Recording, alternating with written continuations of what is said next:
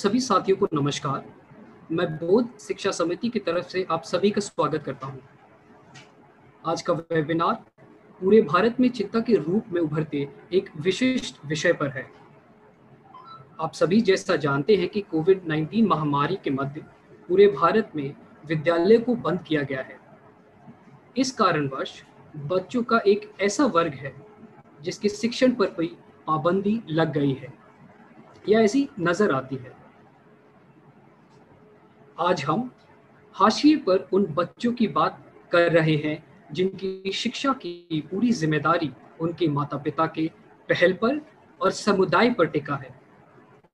आज का विषय ऐसे ही समुदायों के नेतृत्व से उभरे समता एवं गुणवत्तापूर्ण शिक्षण के मॉडल्स पर आधारित है। ये मॉडल्स बोध एवं उसके सहायक संगठनों के साथ समुदाय माता पिता और बच्चों के साथ पिछले चार महीनों के कार्य करने, करते हुए विकसित किए गए हैं। इसमें मुख्य रूप से तीन प्रोग्राम और तीन अलग अलग राज्यों में चलाया जा रहे कार्य पर आधारित है। मैं इस वेबिनार की शुरुआत और सही संदर्भ रखने के लिए बौद्ध शिक्षा समिति के निदेशक युगेंद्र भूषण जी को आमंत्रित करता हूँ।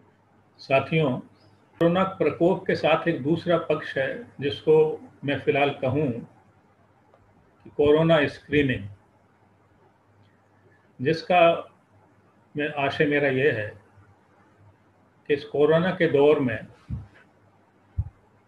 और उसके प्रभावों के दौरान दुनिया भर के वैश्विक राज व्यवस्थाओं, आर्थिक व्यवस्थाओं, सामाजिक व्यवस्थाओं का एक तरह का एक स्क्रीनिंग समानांतर हो रहा है। हम अंदर तक देख पा रहे हैं।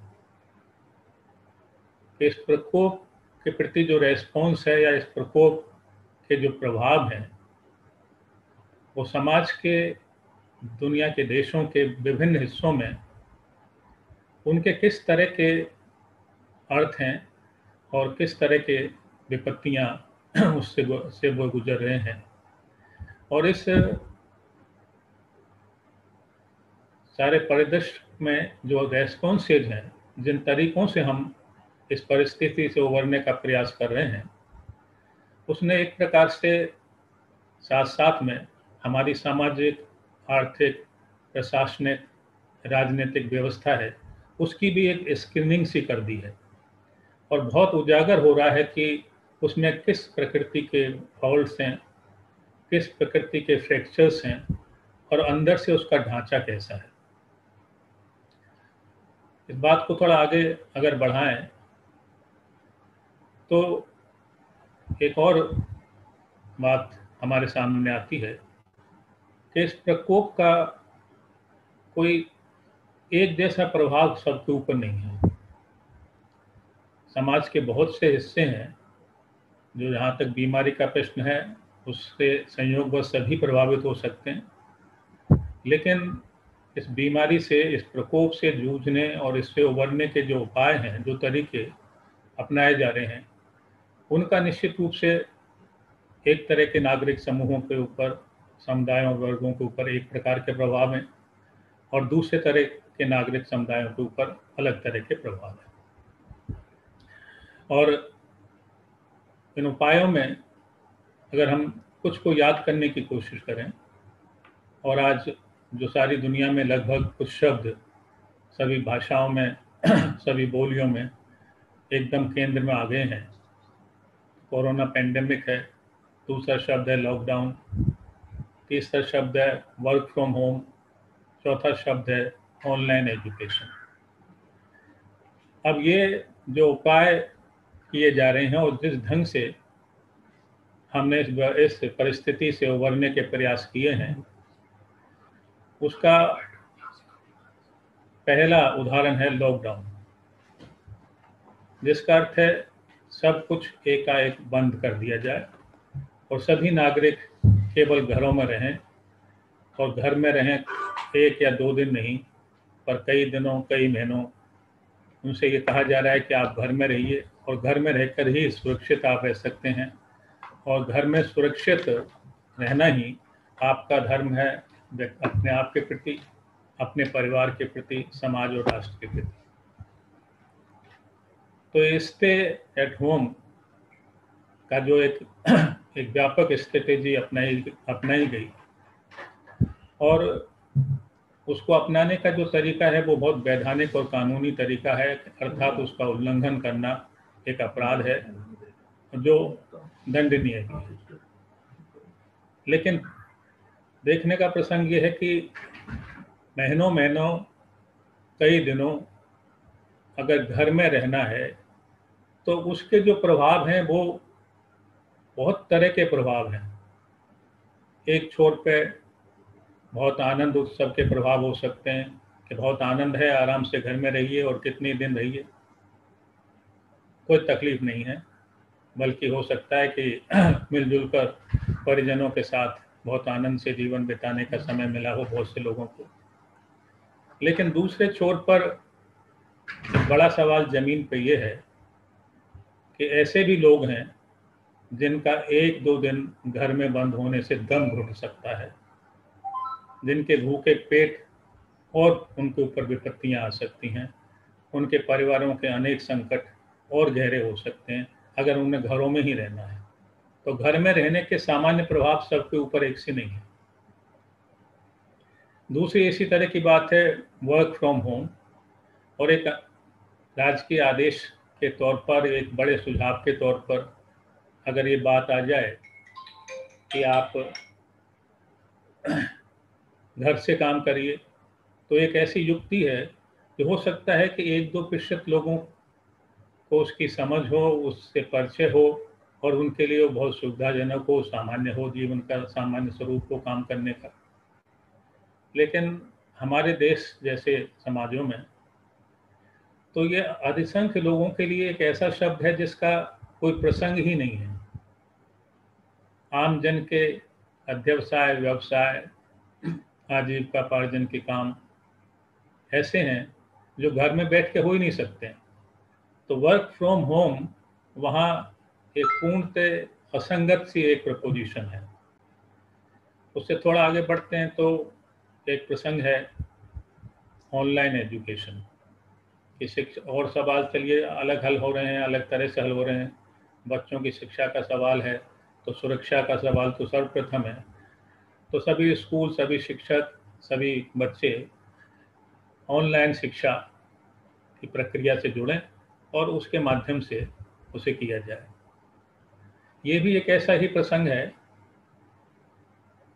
अनेक परिजनों, बच्चों के परिजनों की स्थितियाँ ऐसी हो सकती हैं और वो पहले से अपने स्कूलों में इस तरह के उपकरणों पर और पद्धतियों से परिचित हो सकते हैं और वो पहले से इसका प्रयोग कर रहे हो सकते हैं और अब भी आगे वर्षों तक ऑनलाइन एजुकेशन से भी अपनी एजुकेशन पूरा कर सकते हैं।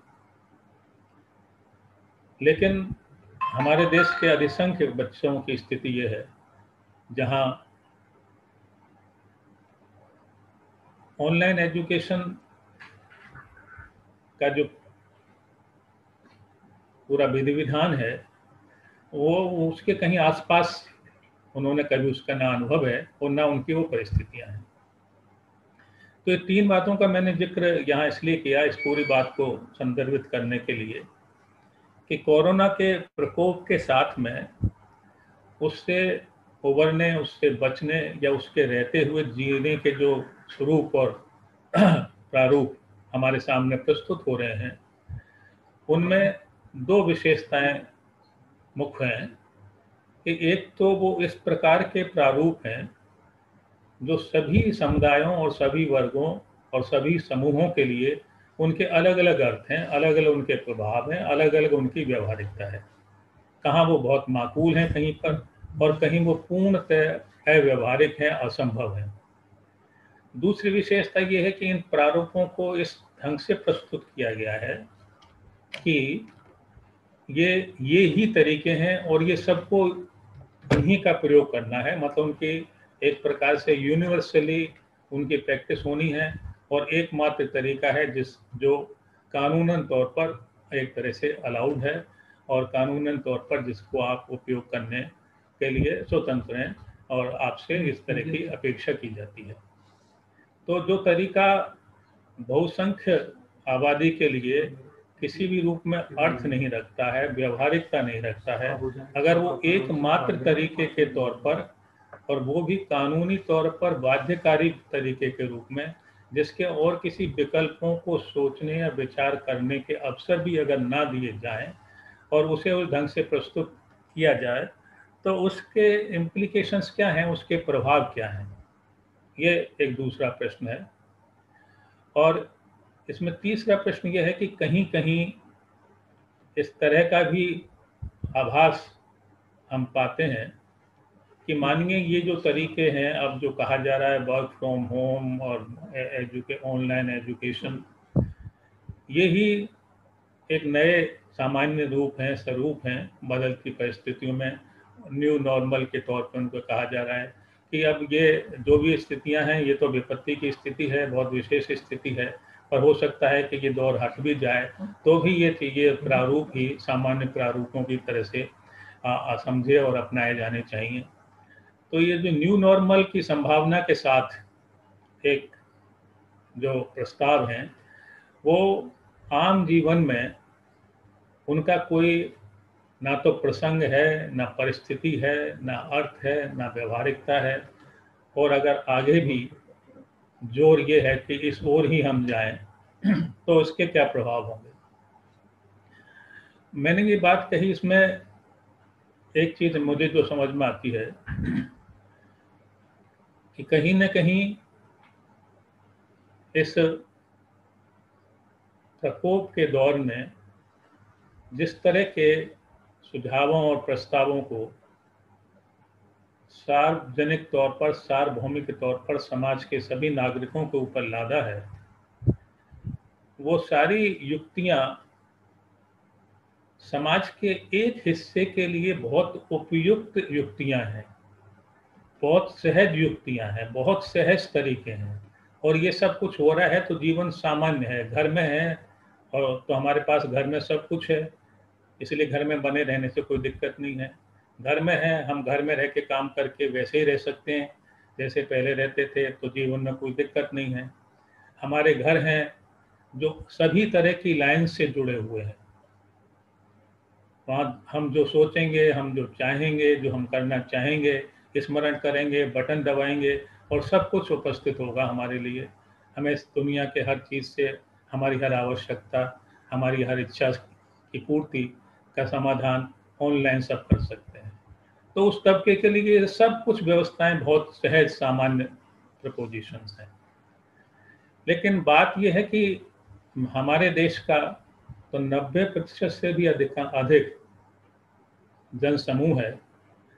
वो ना तो घर में रहने से बहुत शकून है उसको, घर में रह के जीवन काटना मुश्किल है उसके लिए। घर में रह के उनके पास कोई काम नहीं है। और उनके अधिकांश बच्चों के, परिजनों के घर तो ऐसे हैं, जहाँ किसी भी तरह की लाइन नहीं पहुँचती है।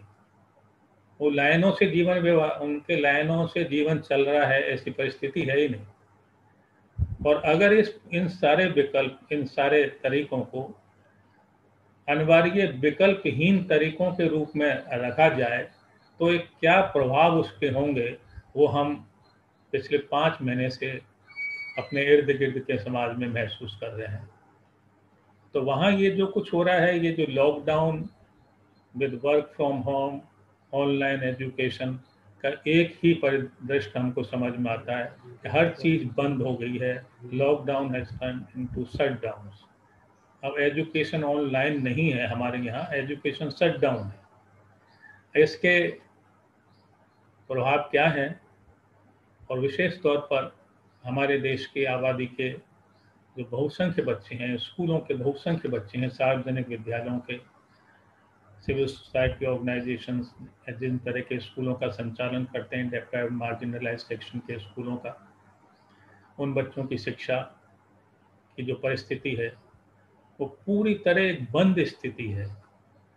और ये बंद स्थिति को ना समझा जाए, ना देखा जाए, ना इसके बारे में बात की जाए और हर एक को कहा जाए कि ऑनलाइन करते रहिए, वर्क फ्रॉम होम करते रहिए, सबकी शिक्षा बहुत आराम से हो रही है। जो लोग शायद निर्णय ले रहे हैं, उनके आसपास का जो जगत है और जो जीवन है, उसमें शायद ये सामान्य रूप से घटित हो रहा है तो हम हमें कोई खास इसका फ़र्क नहीं पड़ता है। लेकिन मैं जिस ओर इंगित कर रहा हूँ या जिस समाज और ज़मीन से जुड़ के जो हम अनुभव कर रहे हैं, वहाँ इनके अर्थ, इनके प्रभाव बहुत भिन्न हैं और थोड़ा डर ये लगता है, लगने लगा है कि कोरोना का बीमारी के तौर पर जो प्रभाव है, वो संकट तो है और कब होगा, कब तक चलेगा, कैसे ख़त्म होगा, उसके बारे में बहुत कुछ बहुत कुछ स्पष्ट नहीं है। क्या आगे होगा? वो संभावनाएँ की बातें हैं। लेकिन इससे जिस प्रकार से निपटा जा रहा है और जीवन के समस्त मसलों को जिस रूप और ढांचे में डाल के जीने की एक स्थिति के निर्देशन है, उसके प्रभाव भी महामारी से कम होंगे या कहीं ज़्यादा तो नहीं हो जाएँगे। उसके दुष्प्रभाव जो अब बन रहे हैं। और अगर इसके इस दौरान ये रुझान हो कि ये प्रस्ताव ही सामान्य प्रस्तावों के तौर पर, सामान्य तरीकों के तौर पर अपनाए जाएँ या सामान्य तरीकों के तरह ढाले जाएँ तो हम किसी ऐसी परिस्थिति में तो नहीं जा रहे हैं कि हमारा सामाजिक जीवन, हमारा सार्वजनिक जीवन ऐसी व्यवस्थाओं से ज़्यादा ओतप्रोत हो जो आम जन के आवश्यकताओं आम जन की परिस्थितियों का उसमें कहीं प्रतिबिंबन भी ना हो उसको छूती भी ना तो हम ये प्रश्न अपने लिए उठाते रहे हैं शिक्षक समूह के तौर पर एक विद्यालय संगठन के तौर पर और जिन बच्चों के साथ हम का, काम करते हैं जिन समुदायों के साथ हम हम काम करते हैं उनके हिस्से होने के तौर पर।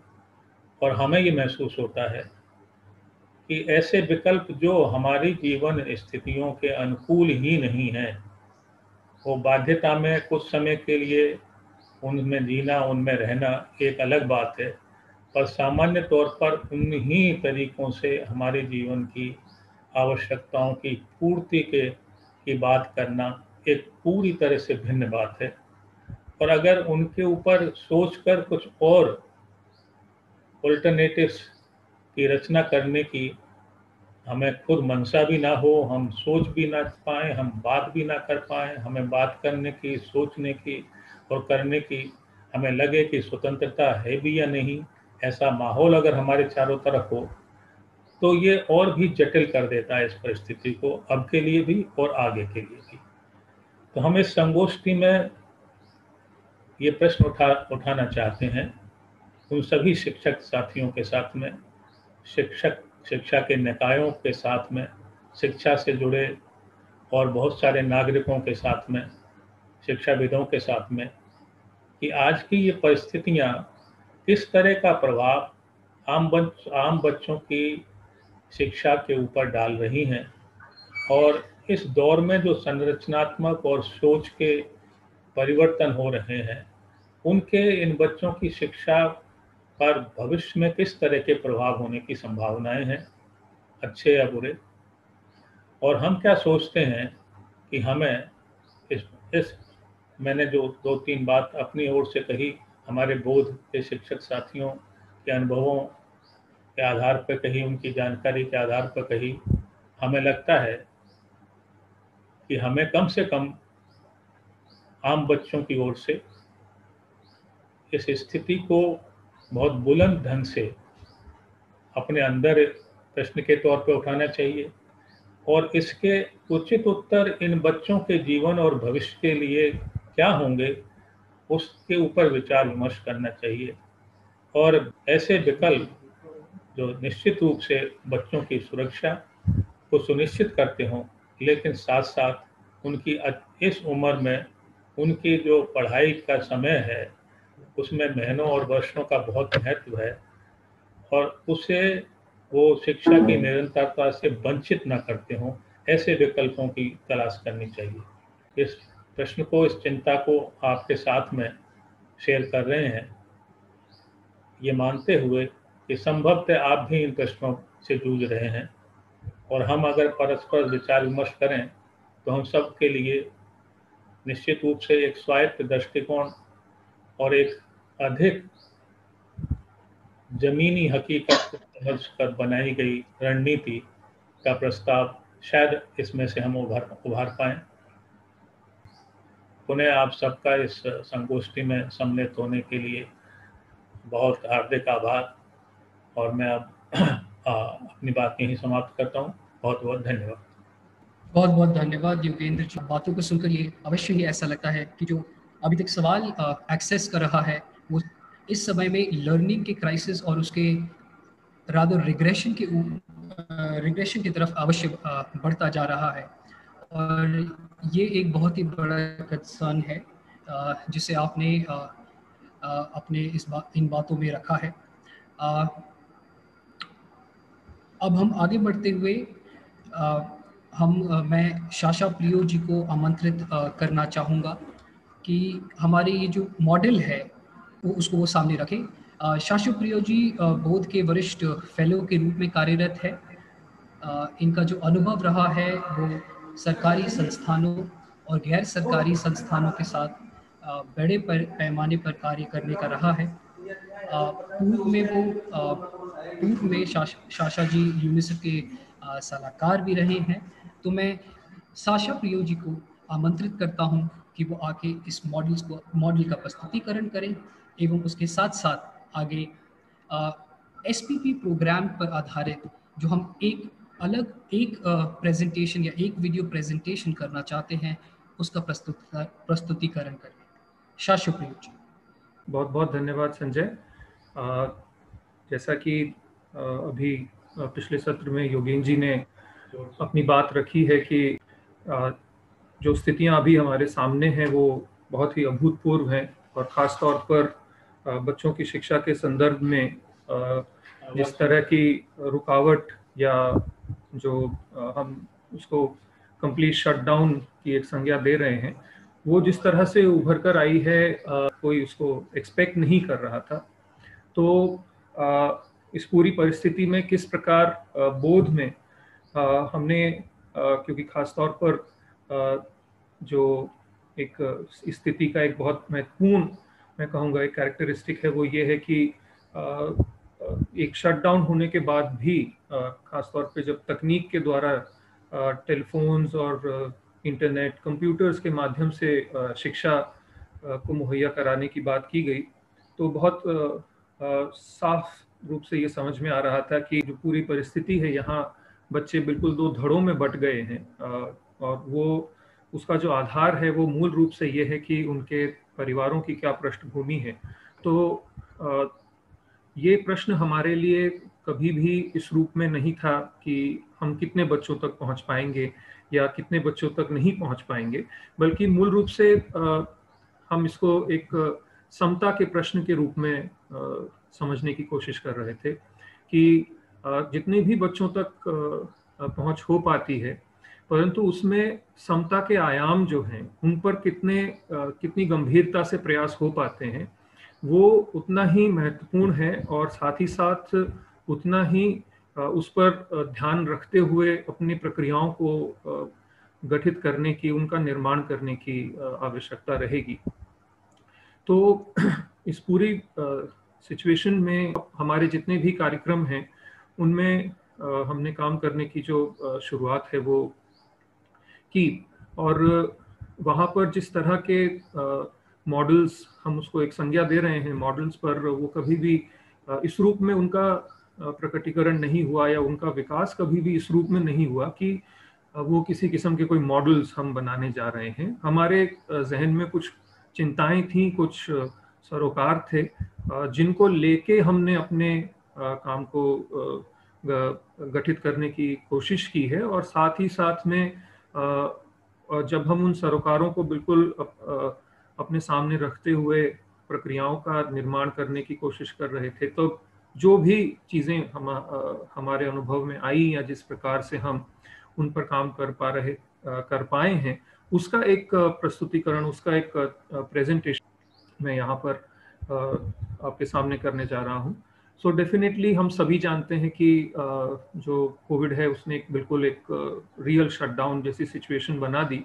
पर उसमें कुछ एक खास किस्म की एक स्थिति जो मैंने कहा कि वहाँ से पैदा हो रही थी कि जब आप तकनीक के माध्यम से पहुँच रहे हैं तो असल में कितने बच्चे हैं जिन तक आप पहुँच सकते हैं, वो तकनीक की अपनी एक सीमा वहाँ पर थी ही। और दूसरा आप पहुँच रहे हैं तो वो कितना कारगर है, कितना समता मूलक है, कितना सीखने के के जो वास्तविक जो आयाम है, उस पर काम करने की उसमें क्षमता है। और बच्चों की जो परिस्थितियाँ हैं चाहे वो उनके घर की परिस्थितियाँ हैं या तकनीकी जो स्थिति है, वहाँ जिन इलाकों में वो रहते हैं, उस पूरी सिचुएशन को मुझे लगता है कि कुछ आंकड़े जो आप देख पा रहे हैं, वो बहुत स्पष्ट रूप से दर्शाते हैं कि एक सिचुएशन है हमारे हाथ में, जहाँ अर्बन और रूरल डिवाइड जो है, वो टेक्नोलॉजी डिवाइड में बहुत स्पष्ट रूप से प्रकट हो रहा है। एंड आज से दो साल पहले के हम आंकड़ों को देखते हैं तो बहुत ही बड़ा अंतर है। और अगर इंटरनेट रूरल हाउस होल्ड में देखते हैं तो केवल 14.9 प्रतिशत लोग हैं जिनके पास इस तरह का एक इंटरनेट एक्सेस है। एंड ऑब्वियसली अभी भी जो आंकड़े हैं, हम 320 मिलियन की बात करते हैं, पर ये सिर्फ़ और सिर्फ़ कुछ रफ अंदाजे हैं।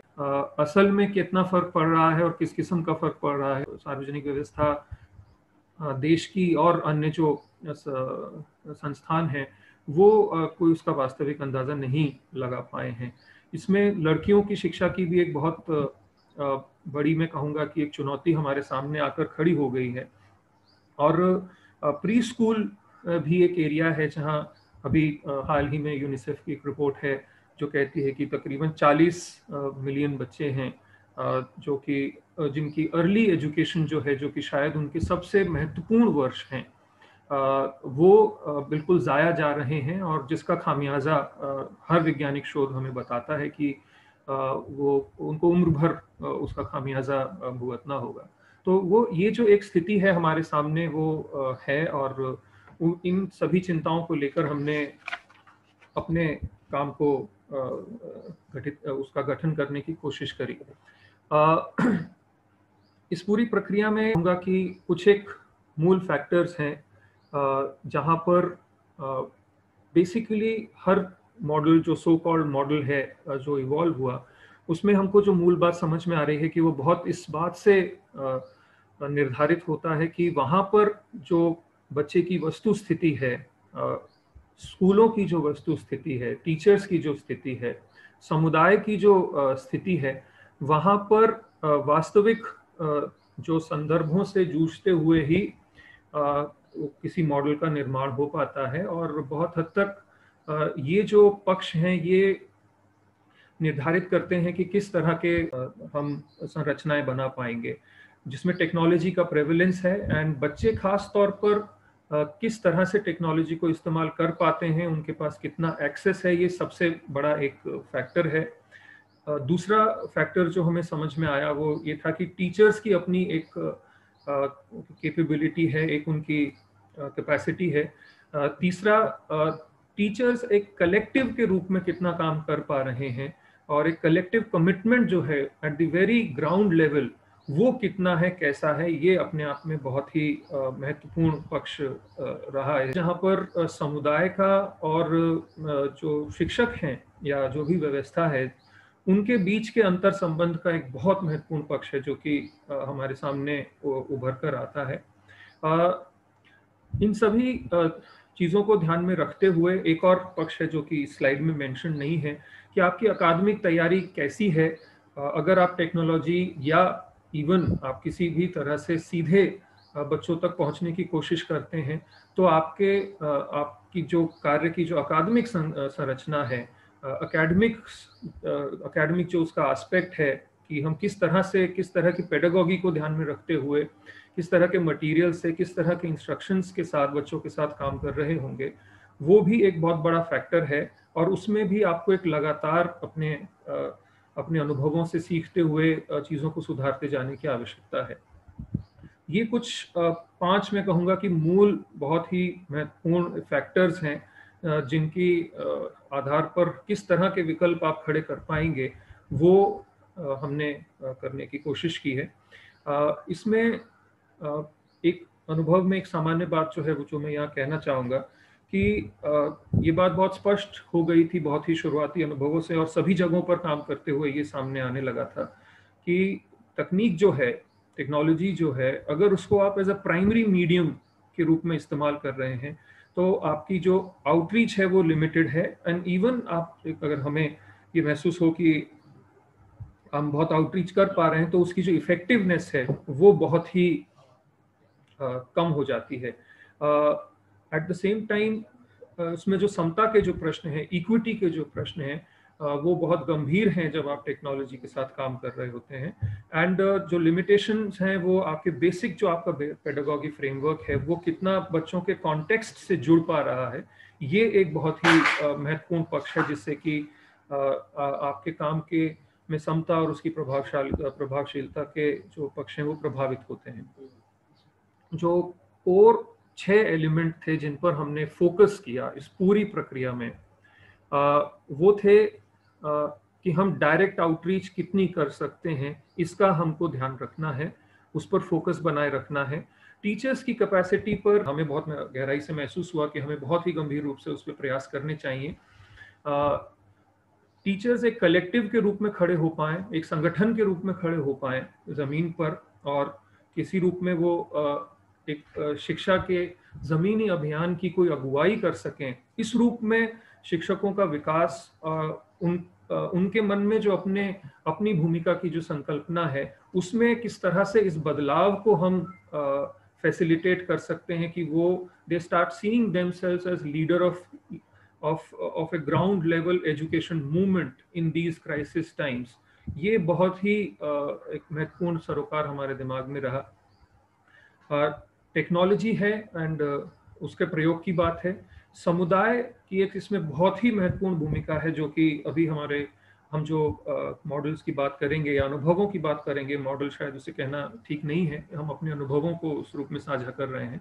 तो uh, समुदाय की भूमिका और समुदाय की समझ और समुदाय का भी एक संगठन के रूप में एक संगठित रूप में वहाँ पर उभर कर आना एक बहुत ही महत्वपूर्ण पक्ष रहा है जो कि हमने सब जगह अपने काम की शुरुआत इन्हीं पक्षों पर काम करते हुए की है।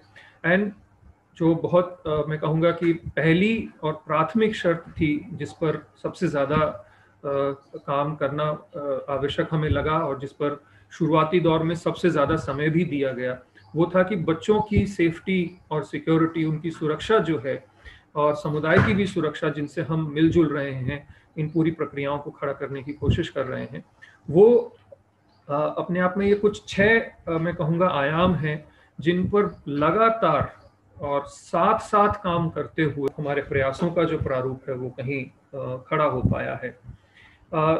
इन चारों मॉडल में जो मैं कहूँगा कि इसका विकास क्रम जो रहा है, इसका एवोल्यूशनरी पाथ जो हम देख पाते हैं, उसमें एक कॉमन कुछ एलिमेंट्स रहे हैं, कुछ कॉमन चीज़ें रही हैं कि वो किस तरह से विकसित हुए। सबसे पहले जो मैं कहूँगा कि हमने अपने काम की शुरुआत की थी, उस दौरान हम हमारा जो मूल सरोकार था, वो शिक्षा बिल्कुल भी नहीं था। शुरुआती एक से डेढ़ महीनों में हम उस बारे में सोच भी नहीं पा रहे थे कि उसकी क्या संभावनाएँ हैं। और मोटे तौर पर काम की जो शुरुआत है, वो कोविड रिलीफ वर्क से शुरू हुई और जो हमारा केंद्रीय कार्यालय है, कूकस का, वहाँ पर वॉल्टियर्स के समूह के रूप में इसकी शुरुआत की गई। और यहाँ पर एक सिंपल एक कॉल था लोगों के लिए कि कौन है लोग जो कि आगे आना चाहेंगे? इस लॉकडाउन में इस इस भय की स्थिति से बाहर निकलकर काम की शुरुआत करना चाहेंगे। और ये उस समय इसको ऐसे नहीं देख रहे थे, पर ये अपने आप में एक नींव रख रहा था, जहाँ पर हमारे साथी जो मैं कहूँगा कि उनको विशेष रूप से धन्यवाद मैं देना चाहूँगा। वो पहले साथी जो कि एज वॉल्टियर्स के रूप में हमारे से जुड़े और उन्होंने कुकस के आसपास के क्षेत्रों में ये रिलीफ का जो काम है अवेयरनेस का काम है फ़ूड डिस्ट्रीब्यूशन है, इस तरह के काम को अपने हाथ में लिया। और उस पूरी प्रक्रिया में बहुत से गाइडलाइंस डेवलप हुए, बहुत सारी प्रक्रियाएँ विकसित हुई, जिनसे सभी साथियों में धीरे धीरे ये आत्मविश्वास आता गया कि सुरक्षा संभव है और सुरक्षित रूप से काम किया जाना जो है वो एक महत्वपूर्ण पक्ष है और उस पर ध्यान देने की बहुत आवश्यकता है और इन सबको सुचारू रूप से किया जा सकता है। सारे स्टाफ, हम कहेंगे कि जो हमारा सेंट्रल स्टाफ है वो ऑफ़िस में शिफ्ट हुआ और दो महीने तकरीबन वहीं पर रहा। एंड ये जो अलग अलग लोग हैं प्रोजेक्ट से, ये आते चले गए और जो फ़ील्ड में जो लोग थे उनके उनके साथ टेक्नोलॉजी के माध्यम से हम कोविड पर एक समझ बनाने का काम कर रहे थे। और जब ये कोविड गाइडलाइंस बन गई और एक बड़ा एक एक समूह खड़ा हो गया जो कि बहुत ही वैज्ञानिक रूप से इस पूरी परिस्थिति को समझने की और अग्रसर था और उस तरह से सोच रहा था, तब हम लोगों ने इस पर विचार करना शुरू किया कि ये कैसे संभव है कि अब बच्चों तक भी ठीक से पहुँचा जाए और मटेरियल्स का निर्माण शुरू हुआ और ये साथी अपने अपने प्रोजेक्ट एरिया में जब वापस गए हैं इस, इन साथियों ने अपने काम को जारी रखने की बात मन में ठानी और उस काम को ये आगे लेकर गए, ये बहुत ही मैं मानता हूँ कि काबिल तारीफ़ उन लोगों का कदम था। और इस तरह से हमने बहुत हर कार्यक्रम में एक बहुत छोटे समूह से शुरुआत की अकादमिक कार्य को समझने की और उस पूरी प्रक्रिया में कैसे समता जो है उसको केंद्र में रखा जा सके। उसको समझने वाला एक समूह हर प्रोजेक्ट में एक छोटा समूह हो, जो कि इस पर काम करता जाए और परिस्थितियों के अनुसार ये जो छह जो आयाम हैं, इन पर एक, हम एक लगातार प्रगति करते रह सकें। और यही मैं कहूँगा कि मूल जो विकास क्रम है, उसमें एक, सभी में जो एक कॉमन बात रही है, वो ये रही है। अब सीधा मैं जो शिक्षक पहल कार्यक्रम है उसके जो अनुभव हैं वहाँ पर उन पर मैं आप लोगों का ध्यान दिलाना चाहूँगा। जब हमने हर जगह सर्वे किया तो हमें मालूम पड़ा कि तकरीबन 10 प्रतिशत बच्चे ही हैं, जिन तक हम तकनीकी माध्यमों से या उसके प्रयोगों से हम पहुँचने की कोई स्थिति हमारी है। खास तौर पर एक्सेस का ही बहुत बड़ा इशू है फंक्शनैलिटी का बहुत बड़ा इशू है और अगर फंक्शनैलिटी है भी तो उसकी यूजिबिलिटी कितनी है और कितना उस पर बच्चे काम कर पा रहे हैं, उनके इश्यूज़ भी बहुत गहराई से हमको समझ में आने लगे। जैसा कि मैंने कहा कि जब लोग अपने अपने प्रोजेक्ट बेस में शिफ्ट हुए, और शिफ्ट होने के बाद हमारे जो शिक्षक साथी थे, उन्होंने ये कहा कि वो अपने कोविड रिलीफ वर्क को जारी रखेंगे। और कोविड रिलीफ वर्क जिस तरह से वो कर रहे थे, उस पूरी प्रक्रिया में वो अपने आप में एक एक मैं कहूँगा समुदाय में एक आत्मविश्वास बना रहे थे कि इससे बचाव संभव है और वो उस व्यवहार का एक आदर्श प्रस्तुत कर रहे थे। और ये यहाँ से उनका मैं मानता हूँ कि उनके साथ सम, उनका जो समुदाय के साथ तो एक पुराना संबंध है क्योंकि यहाँ पर हमारे जो स्कूल हैं वो दो दशकों से समुदाय सामुदायिक विद्यालयों के रूप में काम कर रहे हैं। वो और गहराता चला गया और इनको इन, इन्होंने जो पहल की कि वो स्कूलों में रुकेंगे वो एक उदाहरण बन, बना और उसके उसके साथ साथ और अन्य शिक्षक साथियों ने भी ये हिम्मत की कि वो इस कार्य में जुड़े। और कोविड रिलीफ को लेकर काफ़ी बड़े स्तर पर अवेयरनेस का काम जो है थानागाजी और उमरैन की जो 31 मैं कहूँगा जो भोजशालाएँ हैं उन क्षेत्रों में हो पाया। टेक्नोलॉजी से पहुँचने की जो कोशिश की गई और साथ ही साथ में जब ये विद्यालयों में आ गए थे और घरों में भी जब रहे, उस दौरान इन सबके क्षमता संवर्धन पर बहुत गहराई से और सतत रूप से मैं कहूँगा कि केंद्रीय टीम काम कर रही थी और उसके आधार पर एक संदर्भीकृत मटेरियल्स का निर्माण की प्रक्रिया भी साथ साथ चल रही थी। तो ये जो शिक्षक साथी बहुत स्ट्रिक्ट कोड का पालन करते हुए अपने अकादमिक पक्षों को बेहतर करते हुए और साथ ही साथ स्कूल में ही रहते हुए 10 से 14 दिन स्कूल में रहना और केवल एक दिन के लिए घर जाना, इस तरह की एक प्रक्रिया को ध्यान में रखते हुए जो स्कूल में रह रहे थे, उसको हम शिक्षालय के रूप में कह रहे हैं कि वो स्कूल में जो रहना है, वो मेजर सेफ्टी मेजर है। यहीं से समुदाय के साथ ये जो बातचीत हो रही थी और लंबे समय तक बच्चों तक पहुँचने में समस्या हो रही थी, वहाँ से शिक्षा घर की बात जो है वो उभर कर आती है कि हम शिक्षा घर का निर्माण करें, यानी घरों में ही बहुत छोटे समूह में कैसे हो सकती है। वो एक संकल्पना उभर कर आई और ये पूरे समुदाय की संवाद और पहल से ये संकल्पना उभर कर आई। इस पर जो अभी हम आगे मूवी देखेंगे उसमें उसमें उन सभी साथियों के अनुभव हैं। और बहुत ही गहराई से जब समुदायों के साथ बातचीत हुई है तो एक अलग ही मैं मानता हूँ कि डायरेक्ट आउटरीच कैसे इन परिस्थितियों में संभव है उसका एक अलग ही विकल्प आ, आ, सामने खड़ा हुआ है जो कि हम ये मानते हैं कि और एक अलग दिशा है जिसकी ओर वो इशारा कर आ, कर रहा है। जिसको कि गहराई से अभी की जो स्थिति है जहाँ पर इक्विटी के बहुत गहरे सवाल हैं उसका उसमें कहीं एक उत्तर हमको महसूस होता है। और इसी रूप में child volunteers volunteers and alumni की एक भूमिका रही है। साथ ही साथ में एक प्रयास ये रहा है कि हम कैसे एक comprehensive and integrated curricular design को स्थापित कर पाए, जहाँ पर ये जो एरियाज़ हैं even art music health mental health physical education इस, इन पर सभी पर लगातार काम होता होता जाए, और एक कॉम्प्रिहेंसिव एंड मोर इक्विटेबल एक जो स्थिति है, वो उभर कर आए। इसी रूप में अभी के राजस्थान और एमपी में जो प्रज्वला कार्यक्रम है, वहाँ पर भी इस तरह के प्रयास हुए हैं जहाँ पर आप कुछ ये फिगर्स देख पा रहे हैं। जहाँ पर हम लोग बहुत मैं कहूँगा उतने बड़े स्तर पर तो नहीं जैसा कि शिक्षक पहल कार्यक्रम में, परंतु काफ़ी बड़े स्तर पर एक ब्लेंडेड मॉडल को हम खड़ा कर पाए हैं। व उसका जो मूल कारण है वो ये है कि ये हॉस्टल्स हैं और यहाँ पे जो बच्चियाँ हैं वो वापस चली गई, घर चली गई। और जो संपूर्ण विद्यालय का जो काम है वो पहले हमारे जो S F academic support fellow जो साथी थे, वो रेमेडियल पर काम कर रहे थे अब अचानक उनको पूरे विद्यालय पर काम करने की जो स्थिति थी, वो खड़ी हो गई और सभी बच्चों के साथ जुड़ने की स्थिति खड़ी हो गई।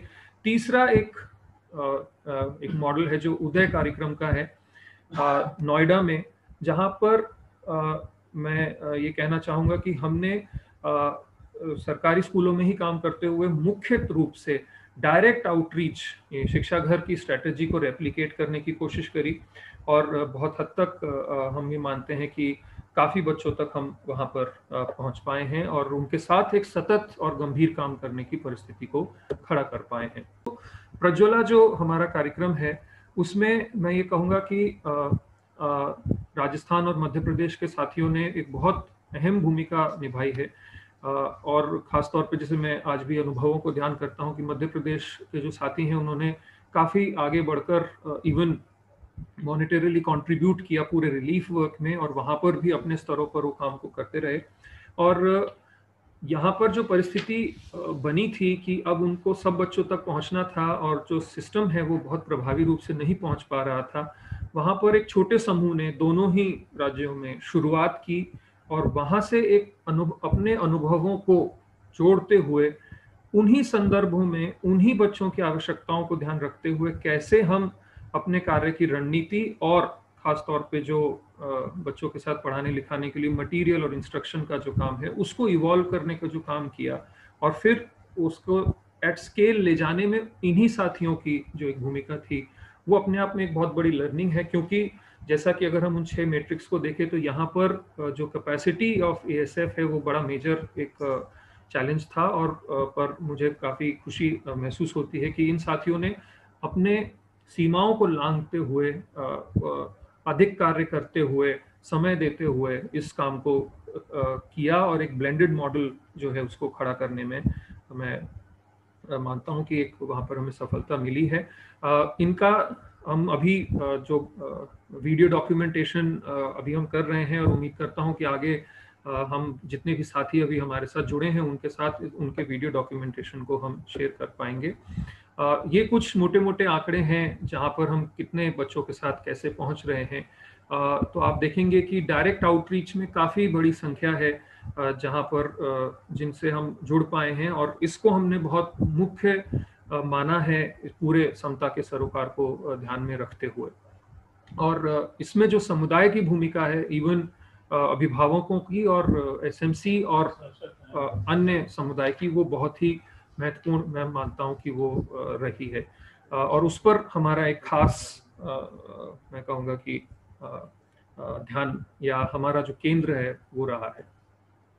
इसी तरह उदय प्रोग्राम है जहाँ पर जैसा कि मैं पहले कह चुका हूँ कि बहुत हद तक हम इसमें ये मानते हैं कि सीधी सीधी पहुँच बनाने में सफल हो पाए हैं। यहाँ पर शुरुआत में बहुत सरकार के भी अपने डाउट थे और बाकी अन्य सहयोगी साथियों के, संस्थाओं के भी बहुत डाउट थे, पर वो कैसे धीरे धीरे अनुभवों से अपने आप में रिजॉल्व होते चले गए। तो ये उदय प्रोग्राम है। यहाँ पर बहुत माइग्रेशन के बहुत बड़े इश्यूज़ थे। And but again a blended approach led by a direct outreach uh, we have been able to work. So now not uh, wasting any more time i'll just immediately uh, go to the next session because we are overshooting time here. I would only say the core elements that teachers stay in school they develop a complete new behavior and community is actually given a very extensive role एक मुख्य भूमिका इस पूरी प्रक्रिया में उनकी होनी चाहिए। How we track every child and we cater and we keep on developing materials that cater to the need of every child and finally to develop a comprehensive curricular model ये चार पाँच कुछ आयाम हैं जिनको uh, हम uh, हमने ध्यान में रखते हुए एक मॉडल को बनाने की कोशिश की है। और इस प्रक्रिया में हम अभी भी uh, आगे बढ़ रहे हैं। इसी के साथ मैं अपना जो प्रेजेंटेशन है उसको खत्म करूँगा। बहुत धन्यवाद साशा जी। आ, मैं अब आग्रह करूँगा कि कृपया हम लोग वीडियो की तरफ़ मूव करें।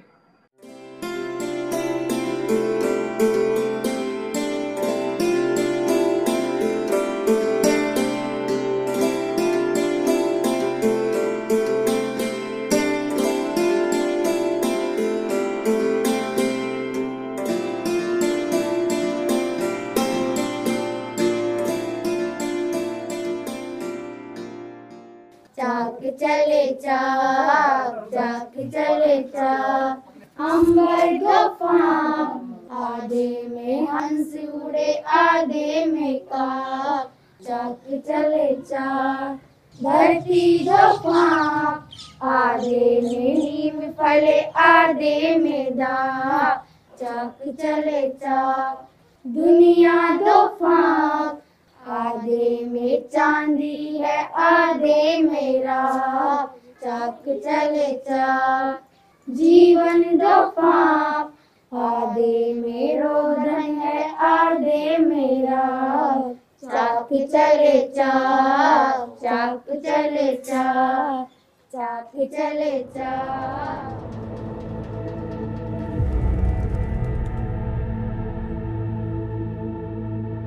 जब 20 मार्च को ये आया कि पूरे देश में एक लॉकडाउन जैसी स्थिति बन रही थी तो बहुत सी समिति से डायरेक्टर साहब का भी हमारे को एक सूचना मिली कि एक लॉकडाउन में आपको भी स्कूल अपन को भी बंद करनी चाहिए और ऐसा एक समाचार मिला।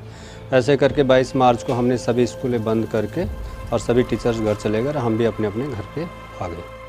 तो एक भय था सभी में। तो भय इस रूप में था कि नई बीमारी है कैसे हम इसको इसका सामना कर पाएँगे?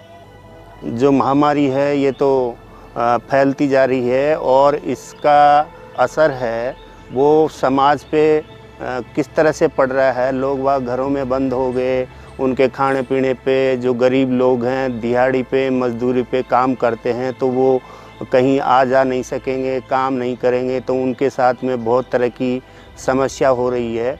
While the world came to a standstill, imparting inclusive and comprehensive education to children across the marginalized sections became a challenge.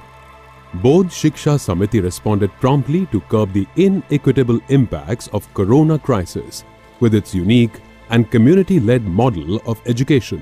अभी देखे तो एक बहुत अलग तरह का सिनेरियो देखने में आया सभी लोग वर्क फ्रॉम होम के लिए फोकस कर रहे थे कि वो घर पे ही रहेंगे घर पर रहकर ही काम करेंगे उनका एक अपने तरह का डर था चाहे वो डर फैमिली का था उनका खुद का था उनके सराउंडिंग का था या ये कहें कि मीडिया का था मीडिया ने इतना क्रिएट कर दिया था पूरा कि लोगों को लग रहा था घर से बाहर निकले तो पता नहीं क्या होगा। एक दो योगेंद्र सर के साथ सेशन हुए मार्च के माह में तो उन्हें उन्होंने हमें मोटिवेट किया कि भाई अब कितने दिन हम घर पे बैठ के रह सकते हैं इसके लिए हमें कुछ सोचना पड़ेगा। ऐसी स्थिति में बहुत से समिति ने भी लोगों को जागरूक करने व उनकी मदद करने के लिए सोचा। इसमें सब मैं भी वॉलेंटियर के रूप में बहुत से समिति में कुकस में आया कैंपस में एक कंट्रोल रूम बनाया गया जो हमारा सुबह छः बजे से लेकर के शाम तक चलता था जिसमें से जो भी सेव मांगने वाले होते हैं या भोजन के वितरण के बारे में बताते भाई हमें सुबह चाहिए शाम को चाहिए कितने पैकेट चाहिए कैसे चाहिए थे तो उसकी हम लिस्ट बनाते थे। इनमें से हमने चयनित करके लिस्ट बना करके एक विधिवत टीम के अनुसार वितरण करना चालू किया। It all started with formulating a set of guidelines in tandem with the COVID 19 safety measures, ensuring health and hygiene before initiating any kind of communication with the community. These guidelines were percolated and translated to the teachers and different stakeholders of board's education model. Everyone was sensitized and made aware about the guidelines through online trainings and community reach. Corona की guideline तैयार की गई जिसको हमको follow कैसे करना है बताया गया जिससे हमारे अंदर जो डर था कोरोना के प्रति वह एक दूर होने लगा। तो यहाँ पर जैसे ही हम साथ में आए तो और कम्युनिटी में आके ये एक अलग तरह का दृश्य था। मतलब ये अलग दुनिया थी। शहर में हम ऐसे नज़रबंद होके जी रहे थे और यहाँ पर पता नहीं कि कोविड है या नहीं। मेरे को तो पहली बार लगा कि यहाँ पे कुछ नहीं। लोग हमको देख रहे थे कि ये कौन है। सर्वप्रथम हमने सबसे पहले लोगों को कोविड जागरूकता पर कार्य किया। जिसमें लोगों को समुदाय में जाकर उनसे कोविड के बारे में बताना इसके बचाव लोगों को जागरूक करना लोगों से बातचीत की गई। और ये एक लंबी बीमारी है वैश्विक बीमारी है तो ये शॉर्ट टाइम में या कम समय में जाने वाली नहीं है। तो हमें लंबे समय तक इसके साथ जीना है तो उससे कैसे उसका सामना करेंगे? फिर उन्होंने बताया गया कि इससे ज़्यादा डरने की ज़रूरत नहीं है। इसके हमारे को उपाय करने चाहिए तो हम मास्क लगा के रखना है।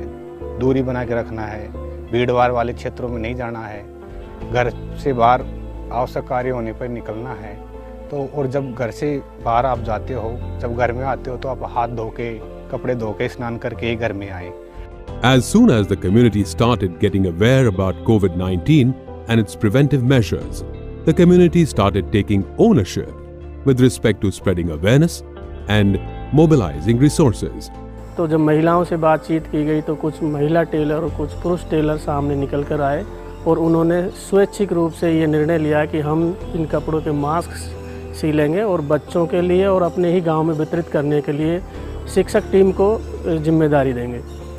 India's great digital divide with embedded gender and class divides entailed the failure of online teaching model in India 320 million students have been affected by COVID-19 school closures.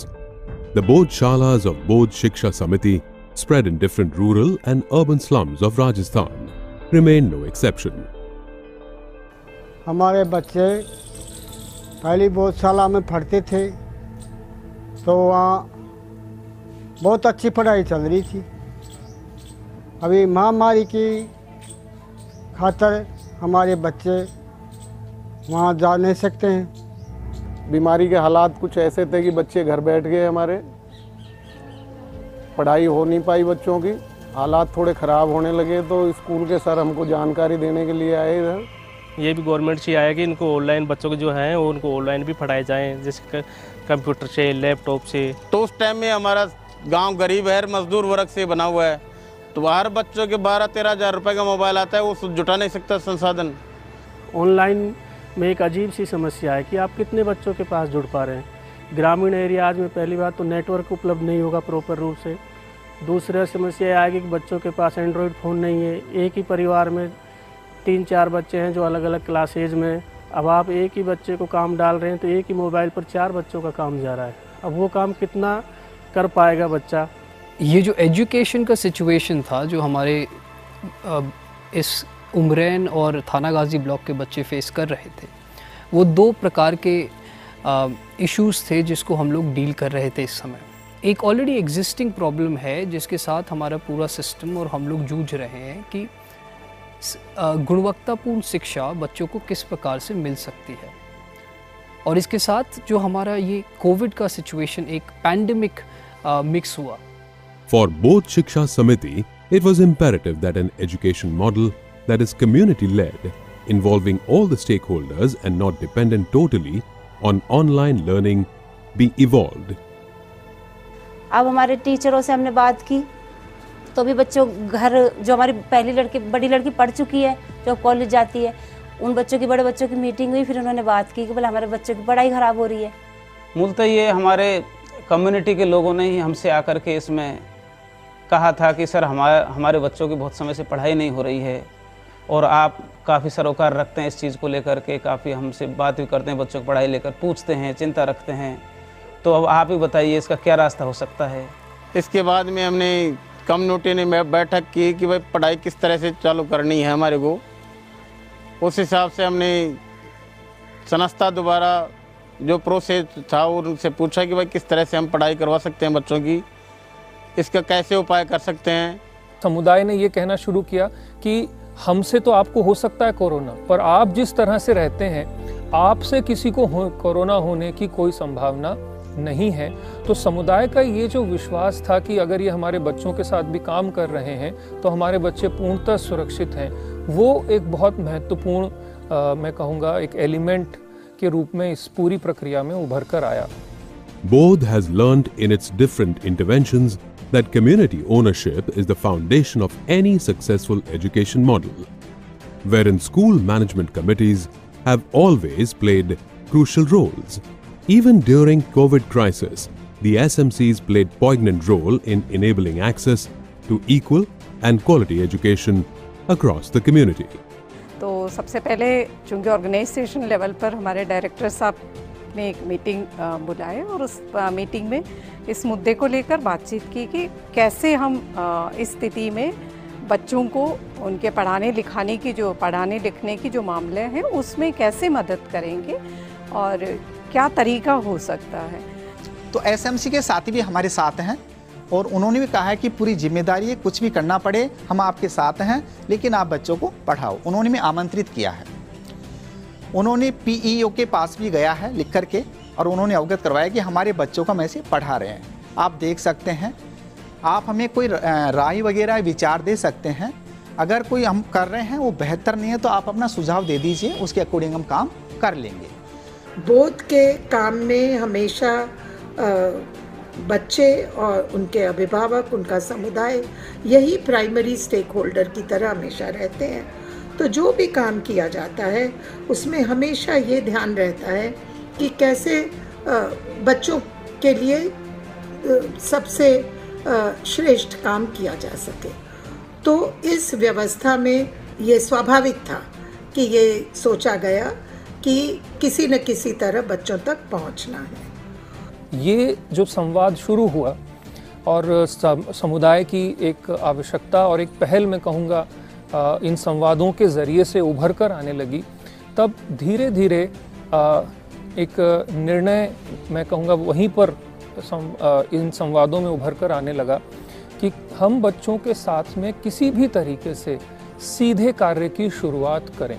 Community और पेरेंट्स के साथ में बच्चों के साथ शिक्षण कार्य करने की पूरी रूपरेखा तैयार की गई और स्कूल लेवल पर पूरे स्टाफ के साथ में कि किस तरीके से बच्चों के डोर टू डोर शिक्षा है, वो निरंतर और नियमित रूप से कैसे उसको जारी रख सकते हैं, पूरा मूवमेंट प्लान बनाया गया। लोगों की तरफ़ से आया कि गुरुजी, अब एक एक दो दो बच्चों को तो हम कैसे करवाओगे? आप ऐसा करते हैं कि हमारे घर घर में एक परिवार के दो भाइयों के पाँच बच्चे हैं, सात बच्चे हैं, हम वहाँ एक शिक्षा घर स्थापित कर देंगे। उसकी ठीक से साफ़ सफ़ाई रखने की हमारी ज़िम्मेदारी होगी, साबुन रखवा देंगे, पानी रखवा देंगे और बच्चों के हाथ धुलवा देंगे, मास्क लगवा देंगे उनके मास्क वास्क लगा के और हम बैठा देंगे पूरी तरीके से तैयार करके। ये हमारी ज़िम्मेदारी है। तो हमने इस तरीके से यहाँ पर समूह चलाना शुरू किया, शिक्षा घर बनाए छोटे छोटे समूह जिनको हम कह रहे हैं कि हमारे प्रत्येक घर को ही शिक्षा का विद्यालय बना दिया, शिक्षा घर बना दिया हमने। अपने सेंटर हैं, जैसे ये गुरुजी पढ़ाते हैं, उसमें सरकारी स्कूल के बच्चे भी आते हैं। प्राइवेट स्कूल में पढ़ते हैं, वो बच्चे भी आते हैं। और वो गुरुजी से इनके मार्गदर्शन में अच्छे पढ़ाई कर रहे हैं। उन बाकी जो इस स्कूल में बच्चे आते हैं, हमारी बहुत साल में उन बच्चों के साथ मिलकर पढ़ रहे हैं वो भी अच्छी पढ़ाई कर रहे हैं वो भी The fundamental element of these learning centers were its teaching volunteers who worked as a link between the teachers at Bodh and the students in the community.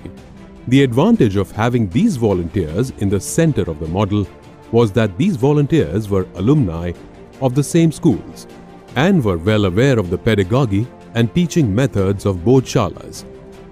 काफ़ी संख्या में शिक्षा घर थे और एक शिक्षक टीम वहाँ तक, इन बच्चों तक नियमित रूप से कैसे पहुँच पाए, एक बड़ा सवाल था। लेकिन हमारे पास एक ऑप्शन था कि इन शिक्षा घरों में जो बड़े बच्चे थे पढ़े लिखे दसवीं, बारहवीं या ग्रेजुएट ग्रेजुएट बच्चे थे, वो घरों में ही थे। अतः उनका सहयोग लेना हमने उचित समझा।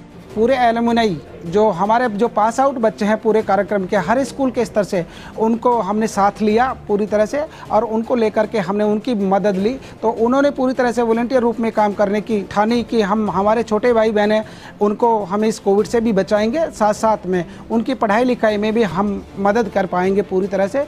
इस पूरी प्रक्रिया में बहुत सारी चुनौतियाँ आई। हमारे जितने शिक्षक साथी थे और अगर हम बहुत छोटे समूहों को शिक्षा घर के माध्यम से जोड़ना चाहते थे तो उस, उसमें हमको ये समझ में आने लगा कि जो शिक्षा घरों की संख्या होगी वो बहुत ज़्यादा होगी और सभी बच्चों तक हर दिन पहुँच पाना लगभग असंभव कार्य होगा। Alumni and volunteer plus teacher and children, इन सबको मिलाकर एक, ये जो एक मॉडल है शिक्षा घर का इस इसकी शुरुआत हुई। In due time More than 800 such Shiksha Ghars or learning centers were set up where more than 4,000 children are being catered to with quality education for past 120 days now. जब ये सिचुएशन देखी तो मुझे लगा कि क्यों ना हम ऐसा काम करें? क्यों ना हमारे भाई बंधुओं को जो अभी छूट गए हैं, मेरे छोटे भाई बहन जो अभी इस पैनेडेमिक सिचुएशन में इधर उधर घूम रहे हैं, क्यों ना मैं उनकी सहायता करूँ? तो इसलिए सर ने हमको प्रेरणा दी। हमारे पास मीटिंग में बुलाया हम लोगों को और हमको प्रेरणा दी गई कि आप ऐसे काम कर सकते हो। तो हमें अच्छा लगा और मुझे अच्छा लगा तो मैंने सोचा, ठीक है, मैं कर लूँगा। सर, मेरे घर पे आए, मेरे से बातचीत की कि आप बच्चों को घर में, दस पाँच बच्चों को जो अपने भी आसपास के बच्चे हैं, उनको थोड़ी देर पढ़ा सकते हो क्या? हम आपकी मदद पूरी करेंगे उसमें। फिर उसके बाद सोचा कि अगर हम शायद इन पे थोड़ा बहुत ध्यान देंगे तो शायद मतलब एक वो रहेगा अनुशासन सा तो ये पढ़ लेंगे। ऐसे ही पढ़ाना सही है क्योंकि अभी अभी तो पता नहीं कब खुलेगा ये। सुबह घर से हाथ धो के जाते हैं और मास्क लगा के जाते हैं। जब वहाँ पे पहुँच जाते हैं और हमारा कट्टा खुद का साथ लेके जाते हैं बैठने की जगह और एक दूसरे से संपर्क में नहीं होते हैं टीचर को दूर रखते हैं। हम वो हमारे पास संपर्क में नहीं आते हैं। मैं इसमें योगदान दे रहा हूँ। ये मेरे को बहुत अच्छा लग रहा है कि जिस स्कूल में मैंने पढ़ा है उसी स्कूल के भैया बहनों को पढ़ाने का मुझे थोड़ा अवसर मिला है। और जो हम पढ़ाते हैं उसमें थोड़ा गुरु जी बता देते हैं कि ये ये पढ़ाना है और थोड़ा हम खुद की तरफ़ से जोड़ लेते हैं। The volunteers working at the Shiksha Ghars were trained virtually with the help of online classrooms and technology by the teachers of both. This ensured a trickle-down effect of the curriculum straight to the students of the community.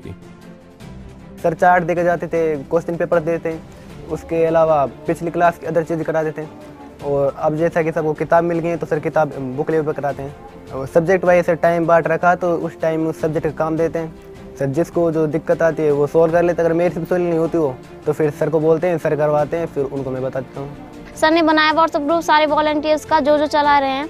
तो उनके phone पे आ जाता है कि क्या क्या क्या करना है और वो हम करवा देते हैं उसमें से देख के। अब इस समय हमारे बच्चों की बहुत अच्छी पढ़ाई चल रही है। Guru ji T L M लाते हैं एवं बच्चों को पढ़ाते हैं और हम भी उनकी मदद करते हैं। इस कोविड के कारण जैसे मैं यहाँ पढ़ा रही हूँ एक महिला होकर के भी इतनी दूर है घर और यहाँ पर मैं हूँ। फिर भी हम इतनी कठिनाई में मतलब बच्चों के साथ जोश के साथ लगे हुए हैं। डेली जाते हैं तीन चार किलोमीटर उनको पढ़ाते हैं। वहाँ पे महिलाओं को भी जागरूक करते हैं। वॉल्टियर भी है। उनको भी जागरूक करते हैं वो भी हमारे साथ जुड़े हुए हैं लगातार।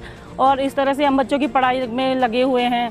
लेकिन आप पाँच सात बच्चों को हम ठीक से देख पा रहे हैं उनके साथ ठीक से काम कर पा रहे हैं उसका ठीक से आकलन कर पा रहे हैं उनकी आवश्यकता क्या है उसकी नीड क्या है उसके अकॉर्डिंग हम प्लान बना रहे हैं उसको कार्य दे रहे हैं और आसानी से कर रहे हैं।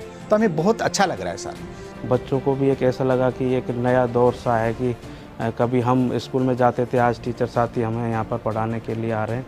तो सभी बच्चे पूर्ण रुचि के साथ एक नए उत्साह के साथ ऐसे भय में वो वहाँ पर पढ़ने लगे On the other side, the teachers at both ensured that comprehensive teaching learning materials in the form of worksheets, kits, etc. were designed and circulated keeping in mind the availability of supplies and resources in the vicinity of the learning centers.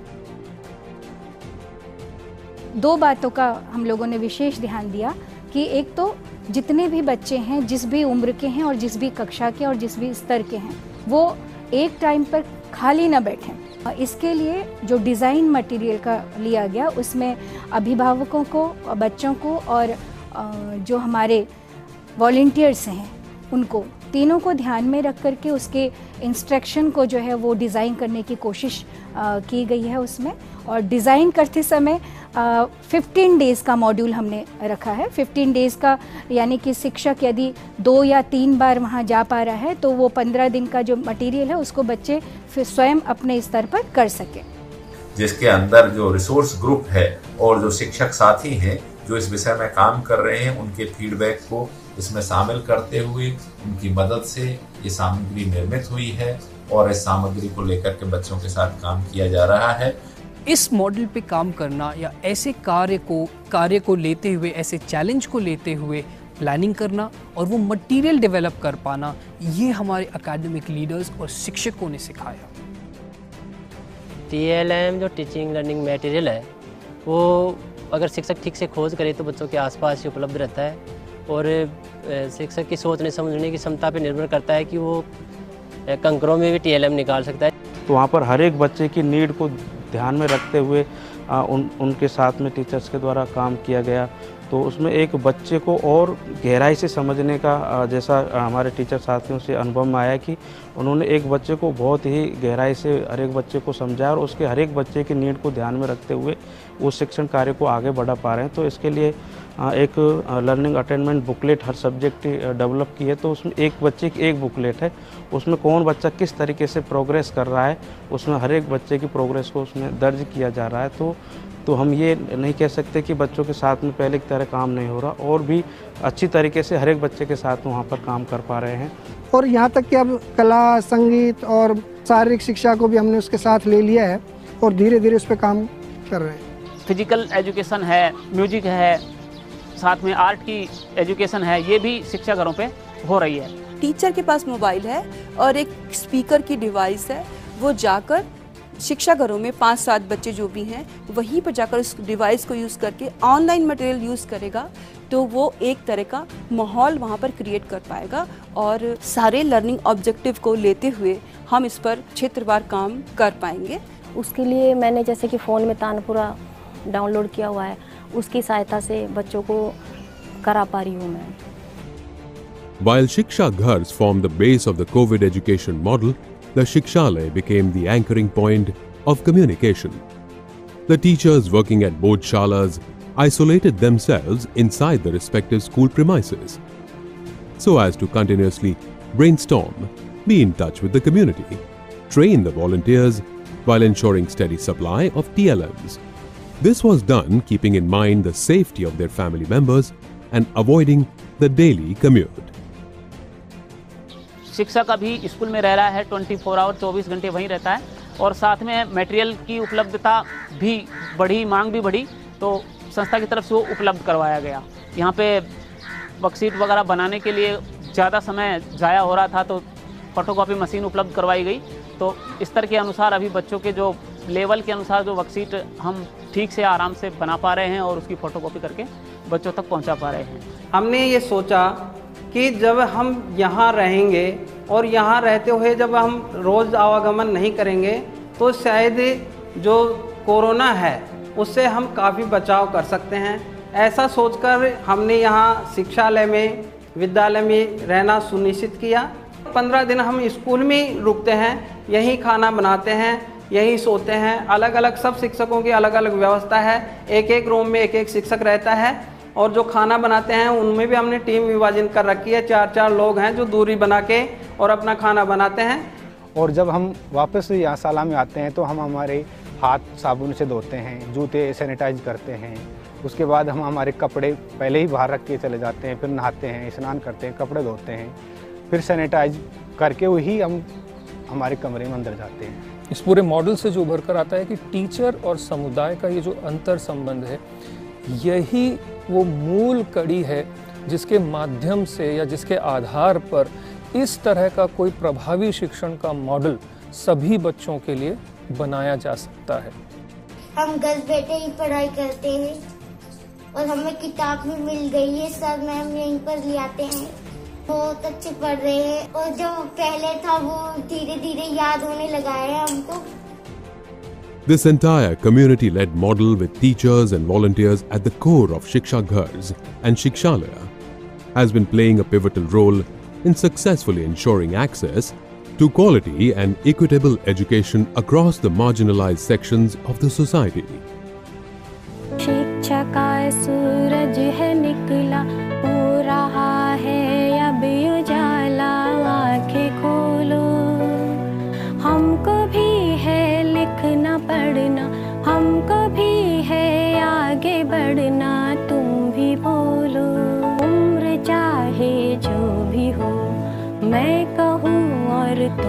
कहो कभी भी कहीं भी।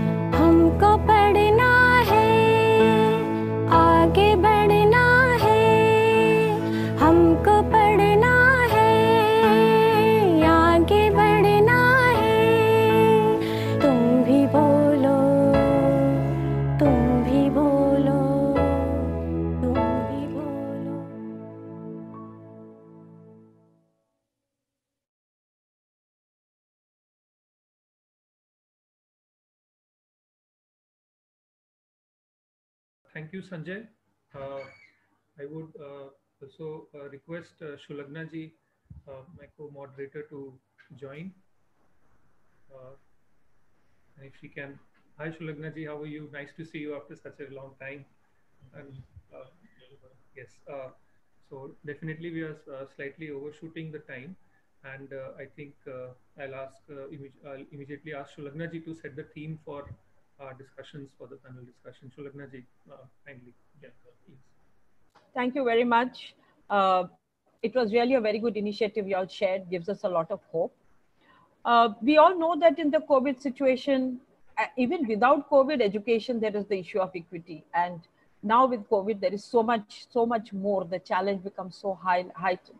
And there are certain very uh, scary data coming up. For example, Ungai has talked about more than uh, 10 million more girls, secondary education age group, will be out of school because of this, because of COVID. There was also one study which I read of SAVE, which said that 25 to 35% children lose their learning if they have a three month gap, and now it's five months. So this, um, and we all know the challenges of online learning. I don't want to highlight that. We have all spoken a lot about it. And there are a lot of data which shares that.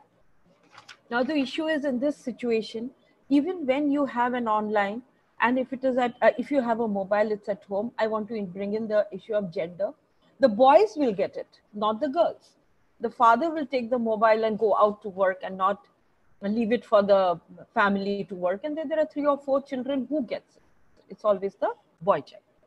There are many, many such initiatives that have uh, come up with lots of good strategies. But I also read of one uh, initiative by Haryana government. I don't know who's supporting that, which talks about how the edu- how the government has taken up this role and uh, ensured that there is this kind of uh, volunteers working and with some teachers being paid. Now we have, and we just heard this very wonderful uh, presentation by both, talking of a range of uh, strategies to reach out. There has been direct reach out, there has been a blended model of reach out and technology, and there has been technology. We have such a robust and experienced and learned panel. We would like to raise a few uh, issues for you to, or to show us the light of the day. For example, let's look at equity first. If you look at equity, is a model or the strategy addressing the issue of equity in all respects digital, gender, location, socioeconomic? Are we addressing that? Then we come to volunteerism. Wonderfully, this initiative has shown how the alumni has been used. The teaching was done by both um, both Shala teachers, but after that, it was the alumni and alumni coming up and doing this. If it comes to others, can they use Meena Manch, Gargi Manch, Scouts and Guides, NSS, whatever there is there, train them. Then also the panel would be requested to throw out on what should be the training, what kind, what what kind of curriculum can be taken up. I come to the next issue of parenting. Parenting becomes a very important factor in this COVID situation and even when schools open. We know that more and more it will be dependent on parents to carry on the education that they are having in school. Lots of homework would be given, lots of project work they will be doing. How is it that we involve the parents? And there have been some very good practices across the country, across the world. If some key ideas can be shared with us, okay, how can parents take this up? How can parenting be an issue and what to do with? Teacher education, what would be the components of teacher education? How should that happen? We saw Sasha doing an online training of teachers. How, what, what, what more can be done? What should be the key components of teacher education? Protection, I, as I was seeing the program, I saw protection is a big issue because you have a person going to the field who has an idea of child rights. So the person can always identify our child being sent for labor. Is there a child marriage happening? Is there some kind of abuse? And how are they going to counsel parents to have confidence in the education system and send them back to school when schools open? Next, I come to, to uh, community school interface. Wonderful initiative which shows that community has come together to work. What's going to be the role of SMCs? What is going to be the role of PRIs? In Rajasthan, we can talk of the Panchayat elementary education system, but there must be many more. So what are we going to do? What is going to be the interface? national education program doesn't speak so much about community uh, um, engagement. So how, what are the recommendations that we are going to make for community engagement? Space, the board, uh, the last video we saw, which showed that there was a lot of space in the village, but when it comes to urban, how can this be transferred to urban area? And the whole question of scalability, can the government scale it up? And how can the government scale it up? can the government do it on their own or the government has to take the support of civil society organization that has a good reach to make this make this a reality make children continue their education. And the whole thing of government civil society partnership. What is the structure we are seeing? What is the framework we are seeing for all this? And the most effective what is most effective? Is it online? Is it a blended approach or is it direct approach? And finally, for the curriculum, I would say that in emergencies, we have always heard build back better. In this case, can we talk of build learning better? Can curriculum become more holistic? What are your recommendations? Uh, we are looking forward to your uh, the, the panel discussion. Over to Sasha. Thank you, Shulagna ji. And I think uh, uh you raised uh, very important points and cleared the complete landscape for discussion. I will go for uh, the next presentation, which is by Professor Jalal. Jalal sir is an eminent education in India, one of the leading educationists, and has been director of the literacy mission and has been in very key positions in the government and entire education landscape of South Asia. Uh, so I had a conversation with him uh, yesterday uh, he has uh, certain technological issues to immediately join from the Zoom. So uh, I'm going to play uh, some of the audio clips uh, that are there after the conversation, clearing his view on the some of the issues which uh, Shulagna ji has rightly raised. So I'll ask the technical team to start the audio of Jalal sir. The use of technology cannot be justified there is no universal uh, availability of the facilities to every child or every home. So this is the way independent reading, writing, comprehension, understanding, and reading, uh, speaking, listening, reading, writing should be integrated together. So this pedagogy of learning with all the four major uh, processes, listening, speaking, reading, and writing, uh, should be the program, which is not done in the school. A new अब गलत तरीका से Covid situation को कहते कि ये बच्चा किताब नहीं पढ़ रहे जब स्कूल खोलेगा तो ये चैप्टर नहीं पढ़ा तो इसके इम्तहान कैसे लेंगे? माता पिता भी घबराए हुए हैं टीचर भी घबराए हुए हैं तो इसलिए रटाने को लिए कोई तरीका ढूंढो और उसके लिए टेक्नोलॉजी यूज़ करो। तो मैं तो कहूँ तो ये बिल्कुल रॉन्ग अप्रोच है। बच्चे को पढ़ना ही आता नहीं है बच्चे समझ में आता नहीं है। तो कैसे समझ को लिए तैयार किया जाए? अभी एक मौका मिला है इनफॉर्मल ढंग से बैठ के एक दो पीरियड नहीं, हम दिन भर बैठ के कर सकते घर में जाके भी हम पढ़ने का कोशिश कर सकते चार पाँच बच्चे एक साथ मिल के उसको पढ़े और उसको सवाल जवाब को लिए तैयार हो जाए और छोटे छोटे सवाल पूछे उसको जवाब ढूंढे और वही नए नए शब्द जो सीखा है उसको इस्तेमाल करते रहे so oral interaction will be the most important early outcome of this programme and then putting it down to a writing stage कुछ lot of errors to be corrected से लेके पंचुएशन सारे इसमें सीखना है यही तो सिखाना है पढ़ना लिखना लिटरेसी अर्लियर फॉर्म में जो बिल्कुल नहीं होता है कक्षा में उसको सही ढंग से सिखाना है और इस चैप्टर खत्म करके इम्तिहान के सिलेबस के इम्तिहान के लिए तैयार होगा।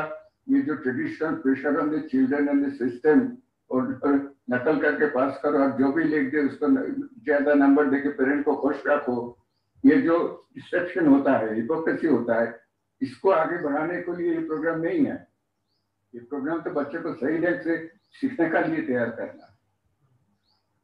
और बेसिक लिटरेसी न्यूमरेसी सोचना प्रॉब्लम को सोचना बोलना, बोल के, अगर जवाब ठीक नहीं हुआ तो आपस में चर्चा करके उसको ठीक करें, उसको मॉडरेट करने के लिए पीआर लीडर तैयार करें, जो थोड़ा आगे बढ़े है, वो समझा सकते हैं।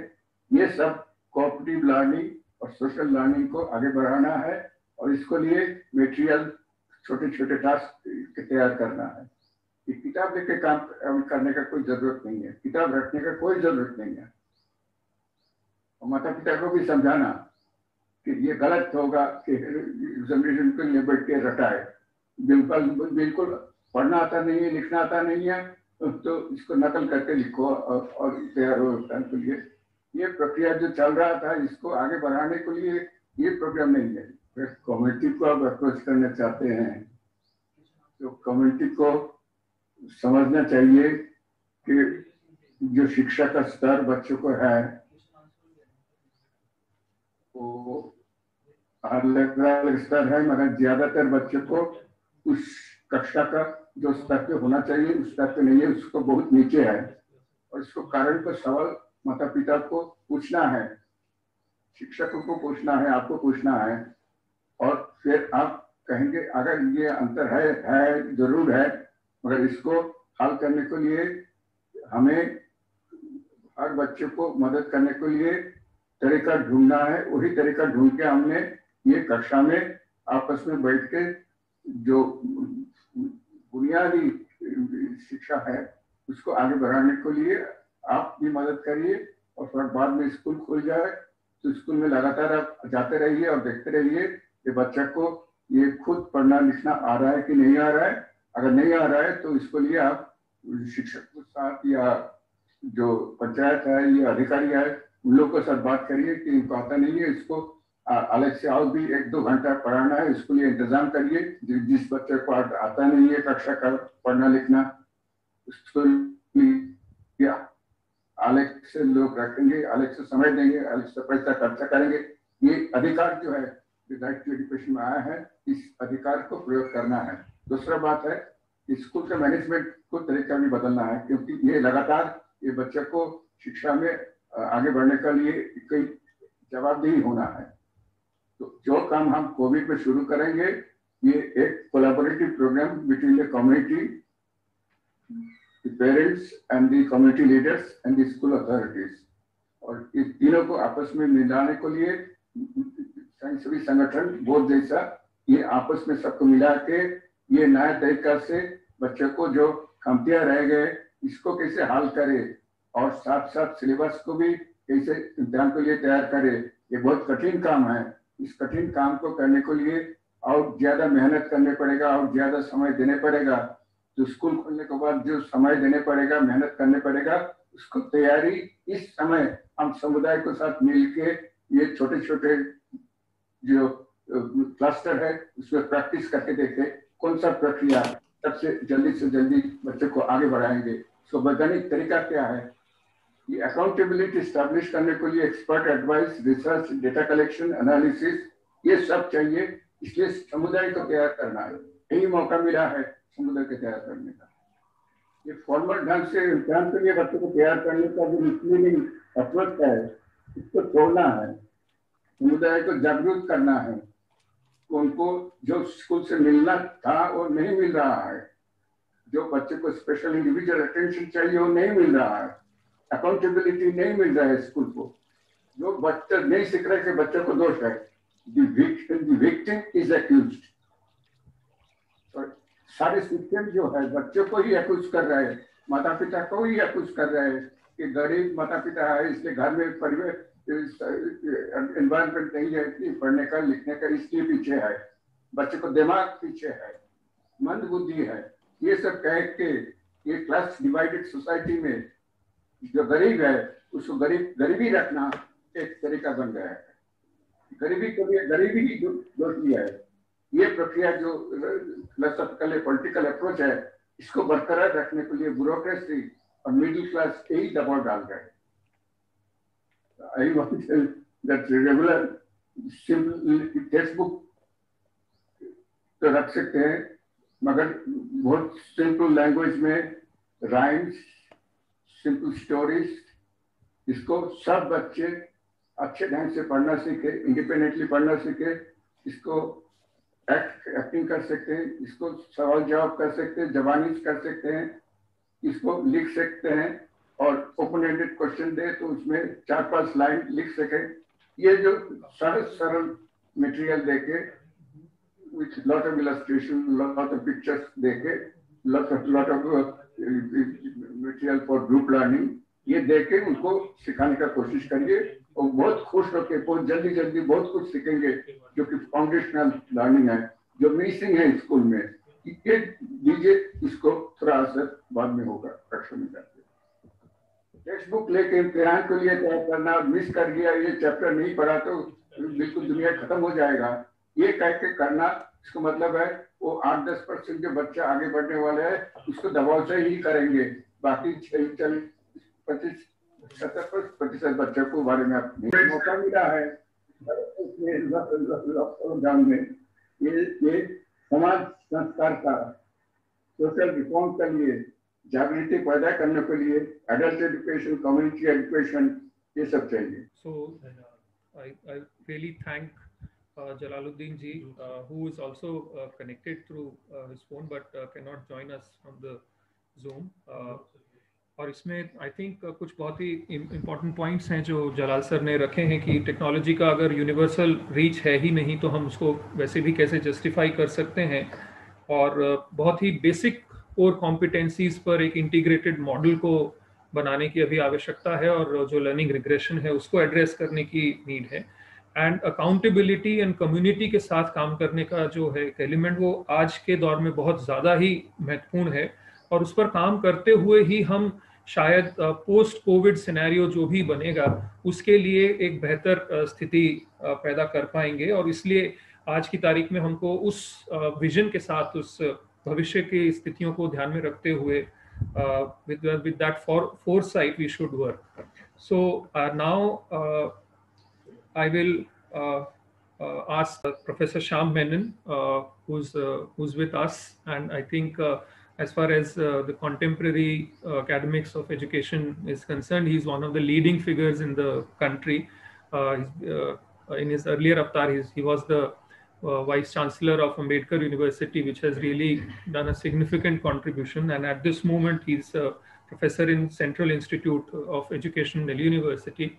So I'll immediately ask uh, uh, Shamji uh, to uh, let us know about his reactions on the model and his general observations on the situation and what he thinks should be the future course for education in India. Thank you, uh, Sasha. I hope you can hear me. Um, आपका साशरा का presentation और योगेंद्र जी का presentation और the video मेरे लिए तो बहुत बहुत ही महत्वपूर्ण एक लर्निंग एक्सपीरियंस था। So, मुझे मैं बहुत आभारी हूँ इस अपॉर्चुनिटी मुझे मिला ये देखने के लिए और समझने के लिए। सुलग्ना जी कई सवाल हमारे सामने रखे हैं। मुझे लग रहा है कि पूरा उसका जवाब देने का काबिलियत मेरे पास नहीं है। मैं सिर्फ़ ये कहूँगा कि ये मैं जो ये अभी हमने देखा सुना उनसे क्या lessons at least what what are the takeaways for me उसके बारे में मैं संक्षिप्त में बात करूँगा। मुझे लगा कि we understand you know um, upper middle class उच्च मध्य हमारे समाज में 10 प्रतिशत लगभग है। बट फिर भी सार्वजनिक नीति के क्षेत्र में पब्लिक पॉलिसी के क्षेत्र में द डोमिनेंट टेम्पलेट द प्रबल दृष्टिकोण जो है वो ये मध्यवर्ग का नीड्स और मध्यवर्ग का कॉन्टेक्स्ट है अनफॉर्चुनेटली ये गरीबों का मार्जिनलाइज का, जो रूरल एरियाज़ में रहते हैं, उनका और खास करके महिलाओं का, बच्चियों का और सोशली मार्जिनलाइज सेगमेंट्स का इन, इनका रियलिटीज को थोड़ा कम नज़र में रखते हैं हमारा पब्लिक पॉलिसी ये बोध का जो अप्रोच से मुझे लगा कि ये इस जो दृष्टिकोण है, उसका आपने उलट पलट किए आपने रिवर्स किया you have reversed the perspective of a middle class centred way of looking at public policy and um, which, uh, one of the major lessons i learned is that uh, you know different contexts is different programs in a country that is celebrating now this whole idea of one country one rule and one law and everything one. Uh, in that, this whole uh, ये जो um, समझ ये समझ जो different context के लिए different programmes का ज़रूरत है ये जो समझ एक एक मॉडेस्टी मॉडेस्टी के साथ आते हैं। ओनली व्हेन यू आर एक एक एक तरह का विनय का ज़रूरत है uh, ये समझने के लिए। सो um, वो हाँ मेरे ख्याल से आपने अकम्प्लिश uh, किया है यहाँ जहाँ आपने सेंटर में बच्चों का कॉन्टेक्स्ट रखा और, और उस, उस, उस, उसमें से आपका स्ट्रैटेजी उभर के आया। और सेकंड एस्पेक्ट वाज दैट आपने and this is very different by the way this is very different from some of the systems which i am familiar with at least in यहाँ का म्यूनसिपल कॉरपोरेशन दिल्ली स्कूल्स या Delhi government schools के संदर्भ में मैं कह सकता हूँ कि एक सेंट्रल विजन था। उसमें online was a major uh, major solution to the problem and uh, that was considered to be a major solution but it turned out to be that it was excluding a whole lot of people not just that it also was excluding teachers so Delhi जैसे शहर में teachers government school teachers ये पूरा vacation में बहुत सारा दूसरी चीज़ दूसरी काम किए हैं और राशन डिस्ट्रीब्यूशन के लिए और यू नो और भी कुछ सरकारी कामों के लिए इनका टीचर्स का डिप्लॉयमेंट हुआ है। टीचर्स को सिर्फ़ एक पब्लिक पॉलिसी का इंस्ट्रूमेंट और के तरह से देखने का एक एक टेंडेंसी है। या सो यहाँ बात जो हो रहा है कि सेंट्रलाइज्ड उन्होंने कुछ टीचिंग मटेरियल और वीडियो लेसन बनाते हैं और टीचर्स को कहते हैं कि आप व्हाट्सएप मैसेज के थ्रू ये सब भेज दीजिएगा, सब स्टूडेंट्स को। Of course it is uh, very unsatisfactory because it covers only a very few people.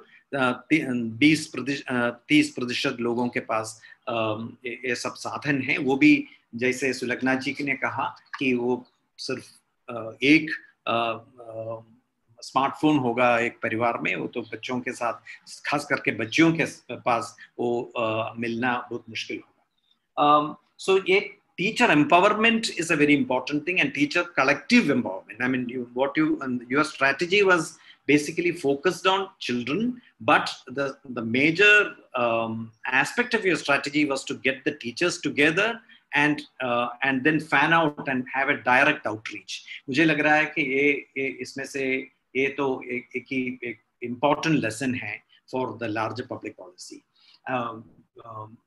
um, and similarly the teacher community एक कम्युनिटी का ओनरशिप अगर नहीं है तो डिमांड साइड पे एक प्रोएक्टिव रोल हम if we don't attribute a proactive role to the demand side हम शायद हमारा जो भी स्ट्रेटजी है वो काबिलियत शायद नहीं होगा क्योंकि यहाँ एक हम हमारा कल्पना इमेजिनेशन में we consider families and community as only passive recipients so instead i think uh, uh, and and rights perspective of education is actually completely uh, forgotten and usme we need to really place the community and the child back into the center and it, education should be seen as a as a matter of right um, so ये सब मुझे लग रहा है कि एक एक, एक पूरा हमारा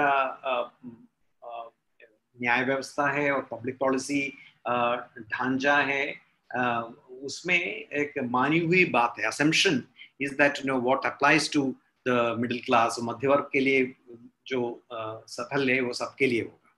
ये uh, आप, आपको पता है कि last two days how much of publicity has been given to the JEE examination just because it covers a certain kind of people and the highest court of the country the highest levels of the government is involve in this Whereas nobody believes, nobody has any time to consider the crores of children who have been left behind through this uh, gap. And Sulakna ji बहुत सही कहा कि um, uh, तीन चार महीने का हो या ज़्यादा हो वो जो गैप है लर्निंग गैप है बच्चों के लिए तो बहुत ही सिग्निफिकेंट है तो एक क्या बोलते हैं उसको दर से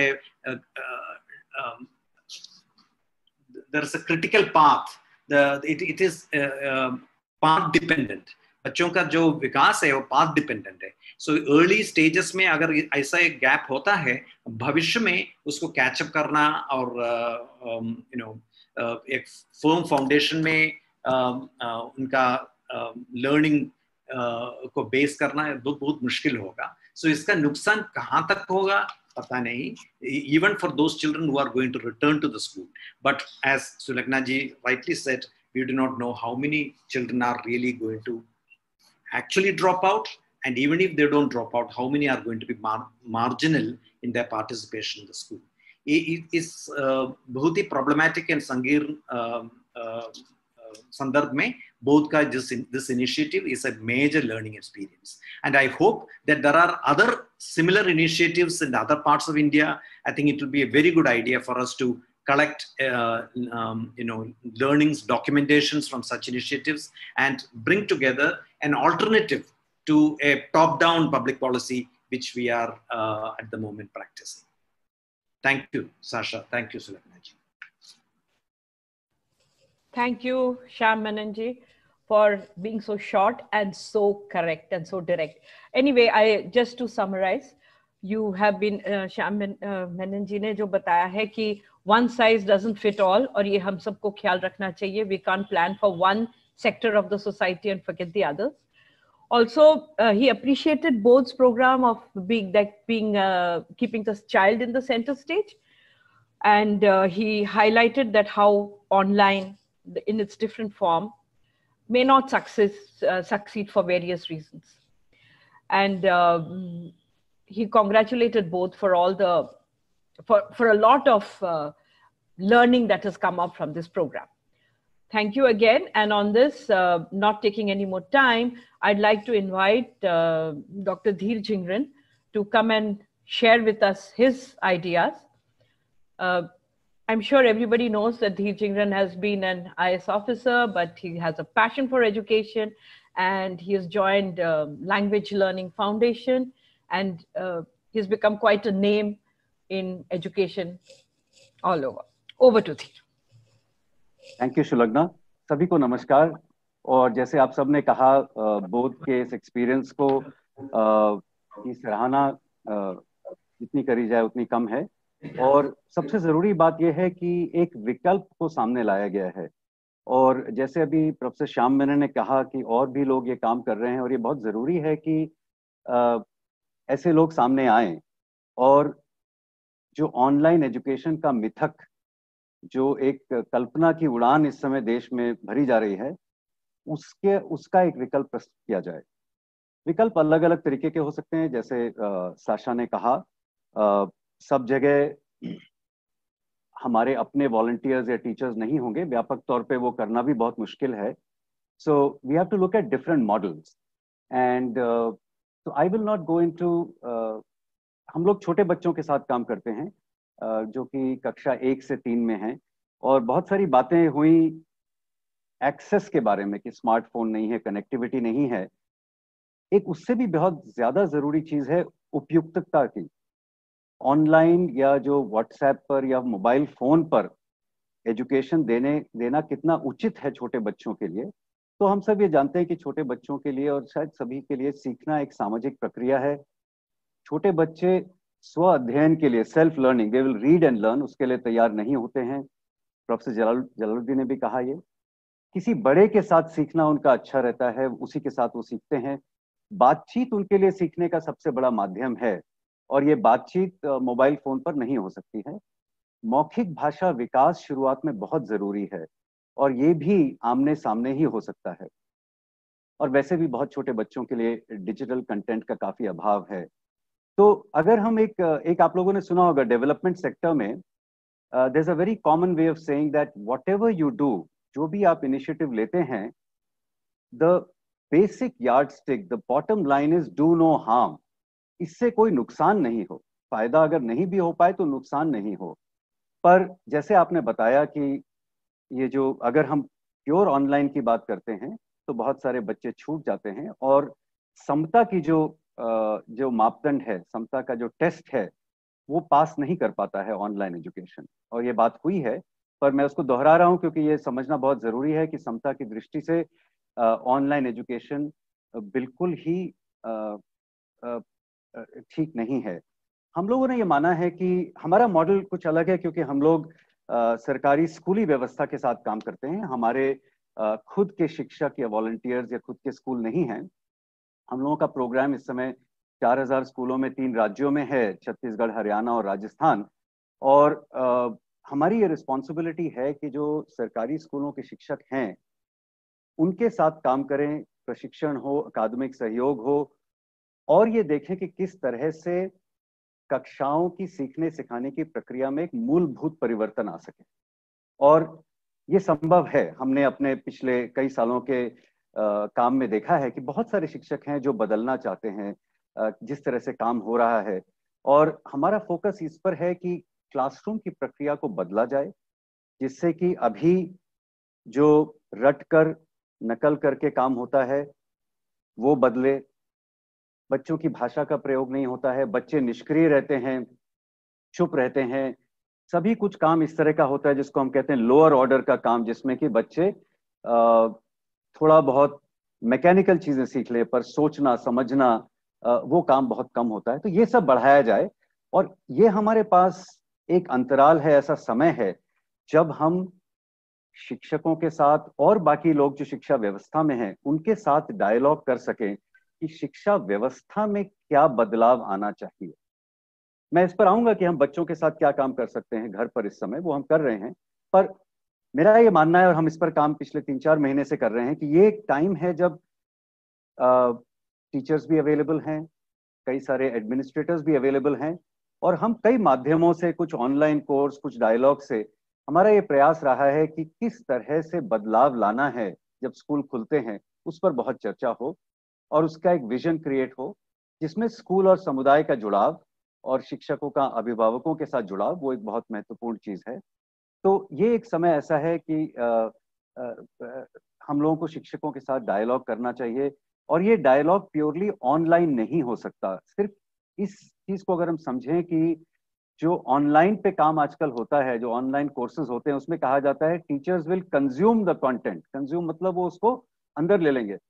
और आ, पर आप देखिए जो जो परिवर्तन हमको लाना है कक्षाओं में कि बच्चे बातचीत करें बच्चे सोचे समझें उसके लिए टीचर के बिलीव्स एंड एटीट्यूड्स जो उनकी धारणाएँ हैं मान्यताएँ हैं उसमें उसमें डायलॉग के साथ परिवर्तन आना है। तो ये काम आसान नहीं है और सिर्फ़ ऑनलाइन मोड से नहीं हो सकता। पर ये मैं मानता हूँ कि टीचर्स के साथ इंटरेक्शन में हमको ऑनलाइन की बहुत सारी चीज़ें हम यूज़ कर सकते हैं। आ, मैं आखिर में जो हम लोग कार्यक्रम इस समय चला रहे हैं बच्चों के घर पे सीखने के लिए घर पे या समुदाय में मैंने जैसे कहा कि थोड़ा अलग है क्योंकि हमारे पास वॉलंटियर टीचर नहीं है। हमारे पास एक कोऑर्डिनेटर हैं जो एक व्यक्ति हैं पचास स्कूलों के ऊपर या पचास गाँव मान सकते हैं आप चालीस पचास गाँवों के ऊपर। वो एक कैटलिस्ट का काम करते हैं फैसिलिटेटर का काम करते हैं। कोरोना के समय से पहले उनका काम था कि क्लासरूम्स में जाकर आ, जो गवर्नमेंट के सीआरसी बीआरसी हैं उनके साथ उनसे अलग जाकर टीचर्स को बदलाव लाने में सहायता करें। पर अब वो पूरी तरह से इसमें जुटे हैं कि किस तरह से हम टीचर्स के साथ काम करके ये देख सकें कि टीचर्स बच्चों तक पहुँच रहे हैं या बच्चे स्कूल तक आ रहे हैं चार पाँच जिस तरह से भी सुरक्षित रूप से आ चुक आ सकते हैं। छत्तीसगढ़ में कुछ मोहल्ला स्कूल शुरू किए गए हैं तो उनके साथ हम लोग जुड़े हैं।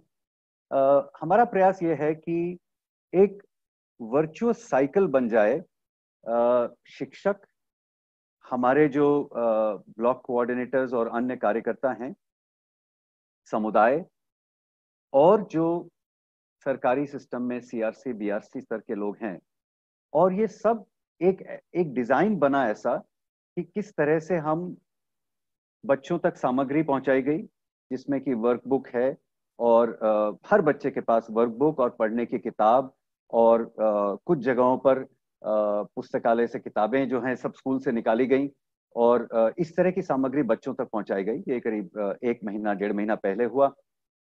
उससे पहले हम भी व्हाट्सएप पर काफ़ी निर्भर थे और अच्छी अच्छी तस्वीरें देखते थे व्हाट्सएप पर और खुश होते थे। जिसमें वो एक बच्चे का आया, उसने काम कर लिया, टीचर ने बड़ा सा एक लाल सही लगा दिया और बहुत खुश होते थे। पर हमने करीब एक डेढ़ महीना पहले इसको बदला। स्थिति को हम पहले से जानते थे, पर अब हमारा प्रयास ये है पिछले डेढ़ महीने से कि घर पर और सार्वजनिक स्थान पर बच्चे इकट्ठा हों और उनको या तो लोकल वॉलंटियर वॉलंटियर को हम अभी पेमेंट नहीं कर पा रहे हैं क्योंकि हमारा मॉडल, जैसे मैंने कहा, अलग था। हम सरकार की स्कूली व्यवस्था के साथ काम करते थे, जहाँ वॉलंटियर या बड़े बच्चे हैं वो सहायता कर सकते हैं। फ़ोन कॉल हर हफ़्ते कम से कम हर घर पे हो, हर पेरेंट के पास जाए। उनके पास अगर वो मैसेज दे सकते हैं तो एसएमएस मैसेज की बात है। शिक्षकों के लिए उन, उन उनका भी ओरिएंटेशन हुआ किस तरह से वो बच्चों के साथ काम कर सकते हैं। और एक चीज़ हम ये कर रहे हैं कि हर बच्चे का एक तरह से सतत आकलन की बच्चा कितना कर पा रहा है क्या ज़रूरत है कैसे सीख सकता है आगे टीचर्स के साथ मिलकर। तो इसमें भी टीचर जो सामने आए, ऐसा नहीं है कि हर टीचर को करने का कुछ सरकार से भी इंस्ट्रक्शंस निकले कि इस प्रोग्राम में टीचर्स को जुड़ना है।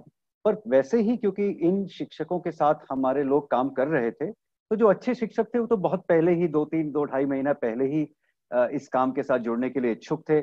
और काम ऐसे शुरू हुआ कि अब जितने टीचर खुद ही जुड़ रहे हैं, उनके साथ शुरू हो रहा है और उसके बाद फिर और भी टीचर्स आना शुरू हो गए हैं।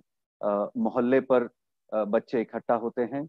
कुछ तस्वीरें थी मेरे पास, पर इस तरह से काम चल रहा है कि कि हर बच्चे को शायद हर रोज तो कोई क्लास नहीं मिल पाती है, पर हर दूसरे तीसरे दिन, जहाँ वॉलंटियर है वहाँ हर रोज हर रोज, नहीं तो हर दूसरे तीसरे दिन एक समूह में बच्चों के साथ काम होता है। और बच्चों के पास जैसे मैंने कहा, सामग्री है वो उस पर काम करते हैं। और उसका एक एक आकलन होता है, एक समझ ली जाती है कि कितना काम हुआ है, बच्चे को क्या कठिनाई है। तो ये हमारा मॉडल है जो हम अभी तीन राज्यों में लगभग पच्चीस हज़ार बच्चों के साथ कर रहे हैं और आगामी सब, आगामी महीने से, सॉरी, अक्टूबर से हम लोग, जो बच्चे कक्षा एक में इस समय आ रहे हैं, जिनका नामांकन हो गया है, वो इन तीन राज्यों में जहाँ हम काम करते हैं, लगभग साठ से पैंसठ हज़ार हैं। उनको जोड़ने के प्रयास में लगे हैं, क्योंकि इन बच्चों के लिए सिर्फ़ वर्कबुक देने से काम नहीं होगा क्योंकि इनके लिए तो सबसे पहले मौखिक भाषा विकास, उनके आमने सामने कोई बैठकर कैसे काम कर सके। तो हम इस प्रयास में लगे हैं कि उनके लिए क्या मॉडल हो सकता है। तो इन सभी बातों को जोड़ते हुए मैं यही कहूँगा कि जितनी संस्थाएँ, जितने लोग, जितने शिक्षाविद इस काम के विकल्प, इस इस किस अलग अलग विकल्पों के लिए काम कर रहे हैं, वो जुड़ें और जो इस समय वेबिनार्स की बाढ़ आई हुई है और जिसमें ज़्यादातर एक तरह के लोग जुड़ते हैं, एक तरह के एक तरह की, क्या कहें जो एक तरह के काम की, एक तरह के ऑनलाइन विक्रेता जो जुड़े हैं, उसका एक ऑल्टरनेटिव क्या हो सकता है उसको बल मिले, ये बहुत ज़रूरी है। धन्यवाद। Thank you, uh, Dhirji. I think uh, you raised uh, very important points and uh, one is definitely कि अभी जो ऑनलाइन जो पूरा मटेरियल है वो और ऑनलाइन से ही केवल जो कब सीखने सिखाने की बात हो रही है वो कितनी उपयुक्त है एक्चुअल में अप्रोप्रिएट मटेरियल है भी कितना एंड आई थिंक जो टीचर की कैपेसिटी डेवलपमेंट की जो बात है उसमें uh, आपका uh, जो मॉडल है वो definitely it's a different model that जिसने online plus task based and real conversations के थ्रू एक लॉन्ग टर्म कैसे हम टीचर कैपेसिटी बिल्डिंग पे काम करें so I think those are very important points कि इवन टीचर एजुकेशन को भी we have to look at in a very different light and uh, at the same time uh, uh, even within your programmatic structure given the limitations how it's important to keep equity and direct outreach in the focus and how we need to also evolve an alternative forum of discussion जो कि एक, एक पूरी अभी जो एक स्थिति बन गई है उसको एक ऑल्टरनेटिव प्रदान करे so I think this are very important points you raised our next analyst is Rema Mohan, who's the CEO of uh, NSC Foundation, and uh, also uh, जो अभी हमने राजस्थान और एमपी के प्रज्वला प्रोजेक्ट की जो बात की NSC is is behind all those programs. And NSC Foundation is taking that model across uh, the nation, which is so much required. And uh, Jalal Sahab ho ya Dhirji ho, uh, Sulagna ji, everyone has pointed out. So I would ask Rema ji to share her thoughts on the present situation and and, and in now how she looks at the future and the systemic questions, large scale questions, because NSC is working at such a huge scale uh, with uh, with the, this sort of a model in mind and that sort of insight. So over to you, uh, Remaji, most welcome, and floor is yours. Yes. My greetings to all the other uh, esteemed panelists uh, who are there uh, with me. What I can tell you is what uh, we do and what we've tried to do and what we have tried to evolve over these uh, you know very challenging times. Um, you know, this is a very, very strange situation that we are in. बहुत ही एक अजीब सी परिस्थिति है अभी जो हम लोग you no अभी जो एक्सपीरियंस कर रहे हैं। जो सब कुछ है बट कुछ नहीं है। I sure you will resonate with this अब सबको ये समझ आएगा जो सब कुछ है और कुछ नहीं है। This is a time of extremes this is a time which is very strange जो आज मे भी बहुत सालों पहले जो स्पैनिश इन्फ्लुएंजा बोलते हैं, बहुत सारी फ्लू और एपिडेमिक्स आए हुए हैं, तब शायद ऐसे हुआ है जो एक ग्लोबल शटडाउन हुआ है you know where but even that had usually it was in pockets and restricted to that geographies और टू दैट कॉन्टिनेंट अभी जो because of this air travel because of the modern nature of our way of life and living this entire thing has spread to a global context but at the same time it's because uh, we have access like we are alone we are isolated we are uh, totally cut off like what yogendra ji was saying हम घर में बैठे हैं work from home करते हैं but हम पूरा wired है we are totally wired we are we have access to everything and that is why I always feel that this is an extremely challenging but at the same time opportune time क्योंकि हमारे हाथ में सब कुछ है। We are the creator of our destiny so we really need to relook at so many things that we are doing and ये भी ऐसे uh, हुआ है। This is again an opportune time when the government is talking about education we came out with new education policy health के बारे में बहुत बात कर रहे थे that the you know investments in education and health बहुत कम हो गया था। जो छह परसेंट, सात परसेंट या ज़्यादा होना चाहिए, ये जो बहुत क्रिटिकल सेक्टर्स में हम वन परसेंट से नीचे आ गए थे तो how are we going to really deal with it at a very at a fundamental administrative and policy level कितना इन्वेस्टमेंट होना चाहिए? ये सब बातचीत सब चल रहा था when this whole you know epidemic pandemic these things had broken out had one more thing I uh, like to is that India में जो होता है ना वो क्वांटम जंपिंग होता है। मतलब कई कई स्टेप्स कई कई प्रोसेसेस हम लोग स्किप करते हैं to go to the next level no मैं ये क्यों ये एग्ज़ाम्पल दे रही हूँ? आपको अभी समझ आएगा क्योंकि जब हम लोग एजुकेशन के बारे में बात कर रहे हैं हेल्थ के बारे में बात कर रहे हैं हम ऐसा मॉडल ढूंढना पड़ेगा that is a quantum jump because जो PHCs and normal way of accessing health तो अभी तो नहीं हो पाएगा. And N S C is working with lot of elderly as a sector तो इसमें प्रॉब्लम्स आ रहे हैं. अभी जो आप और और अगर स्कूल के बारे में बात कर रहे हैं you cannot have a technology driven model क्योंकि जो विलेजेस में आपको डेटा नहीं मिल रहा है. You are not able to get connectivity so there is no data line that has gone to the villages though they had a plan to do it so काफ़ी चीज़ जो होता है, वो हम लोग अभी दोबारा सोच के क्वांटम जंपिंग करना पड़ता है। So that is why say India because of the scale that it has because of the diversity that it has we are going to be at a very important stage in evolution the nation's evolution nation's developmental evolution where we will need to fast track things and we will have to think things in a very different manner. one of the most disturbing things um, जो मुझे लग रहा है you know for me personally it's extremely disturbing is the fact that um, you know this this widening like i said it's this extremes that we are facing today you know um, is that everything is kept to the extreme jesse if somebody has money they have a job they have a job they have money on the other hand you have a person who's a migrant who's uh, looking at a daily bread and butter and he doesn't have that so food becomes an issue so you're having extreme polarity which is also reflected in education जो education में भी अगर आप देखते हैं how are we going to access it now When a child is from a middle class or from a higher income group, उनको ज़्यादा हो रहा है। क्योंकि कम से कम मैं जानती हूँ जो बच्चे लोग हैं आठ आठ घंटे बीत रहे हैं लैपटॉप के सामने ऑनलाइन एजुकेशन बोल के हमारे इतने सारे एडवर्टाइजमेंट आते हैं टीवी में जो वो लोग खोलते हैं ऐप बनाते हैं, ये बनाते हैं, वो बनाते हैं। So here you have a segment of children who are getting so many so much of inputs and such varied inputs whether it is dance drama literature singing uh, life skills and they are getting such a push to go to the next level.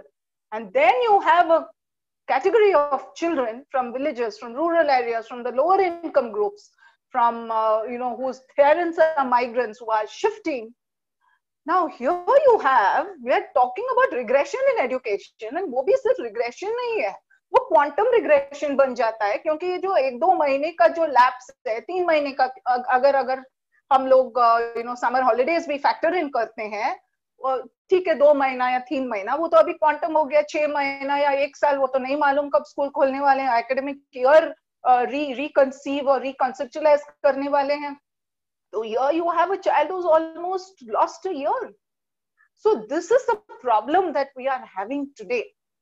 And I know that we've all made our problem statements, but you know I, what really saddens me is that just the past three uh, few years, you know, we have been making somewhat of a progression in every field people are aspirational people wanted to do more women were being empowered communities wanted to go ahead people were willing to travel were willing to travel from assam to kerala for jobs uh, there was more of integration and suddenly it's now being wiped out and that is what is really really saddening that we do not know we uh, हमारे जो company national stock exchange आप जानते हैं now we drive most we drive almost 90 plus percent of the retail equity markets in india. And uh, we have um, information on all the companies who are listed. And um, you know we also do internal studies. We have research. And everywhere it is quite evident that we are heading for some sort of a slowdown in various sectors except if it is insurance health and a few other sectors, technology or something like that. But the rest of the sectors are going to um, are going to fall back on their delivery. So the so the economic condition is also being um, impacted. Now uh, I will. So this is what I really wanted to tell you because it's quite alarming. Or or, or एक बात है when we started out uh, this residential schools, the residential schools जो हम लोग सोचते थे that the girl is always left behind. So there are always those communities who fall back, who have issues. और आप ये ध्यान रखना पड़ेगा that education is not uh, about one generation. It's over generations. मतलब it's not about one person being educated. It is about the family being educated and over over periods. That is when you get a very robust community of people who are educated. So when we look at that, uh, uh, you know, from, from that sense, it's very important that uh, we look at we look at communities, we look at parents, we look at children, and we look at understanding that these are first generation learners. These are people who are triple disadvantaged, tribals, minorities, girls, women, and how can we expect them all of a sudden just to come at par learning competencies दिखाते ये करते वो करते हो, होगा नहीं time लगेगा और बहुत बहुत बहुत बहुत टाइम लगेगा और उसमें हमारे पूरा फोर्स होना चाहिए पूरा हमारे जो इंटरेस्ट होना चाहिए and that was how we conceived this entire um, csr program which is our uh, you know which is our flagship program we realized that the educational um, uh, you know the the schools which are residential schools which offer education to really um, those communities those individuals those families that are left behind this entire developmental debate and conversations and access and all that these are the communities we need to go to. So that is why we started off in ashram shala unicef hamare partners the um, we started off with wash retrofitting and then we went to education and then we moved on to Rajasthan where we, uh, we, we requested both to take up a similar model for education and we have another partner who's also doing wash. Similarly, then we scaled up um, into Madhya Pradesh, all the educational, uh, educational backward blocks of Madhya Pradesh now, when Sulagna ji spoke, uh, she spoke about she spoke about a, a wide gamut of things that we need to address in education. Right? So, what I will do, I'm not going to get into that, but I have a very short presentation. This is the adapting to the COVID, and I must tell you here, uh, where we as an organization are talking about inclusive quality education linked to. So, this is where Sulagna's this thing comes in where you have employment and livelihoods, sexual and reproductive health, gender base, and uh, the inclusive quality nutrition, and the resilience and collaboration and convergence with our other programs. So the theme of this is schools are closed, but learning continues. I'm going to take uh, from, I'm going to take uh, uh examples from each of uh, a few of our programs and uh, really very quickly rush through the slides as well. So this is Karauli, Rajasthan.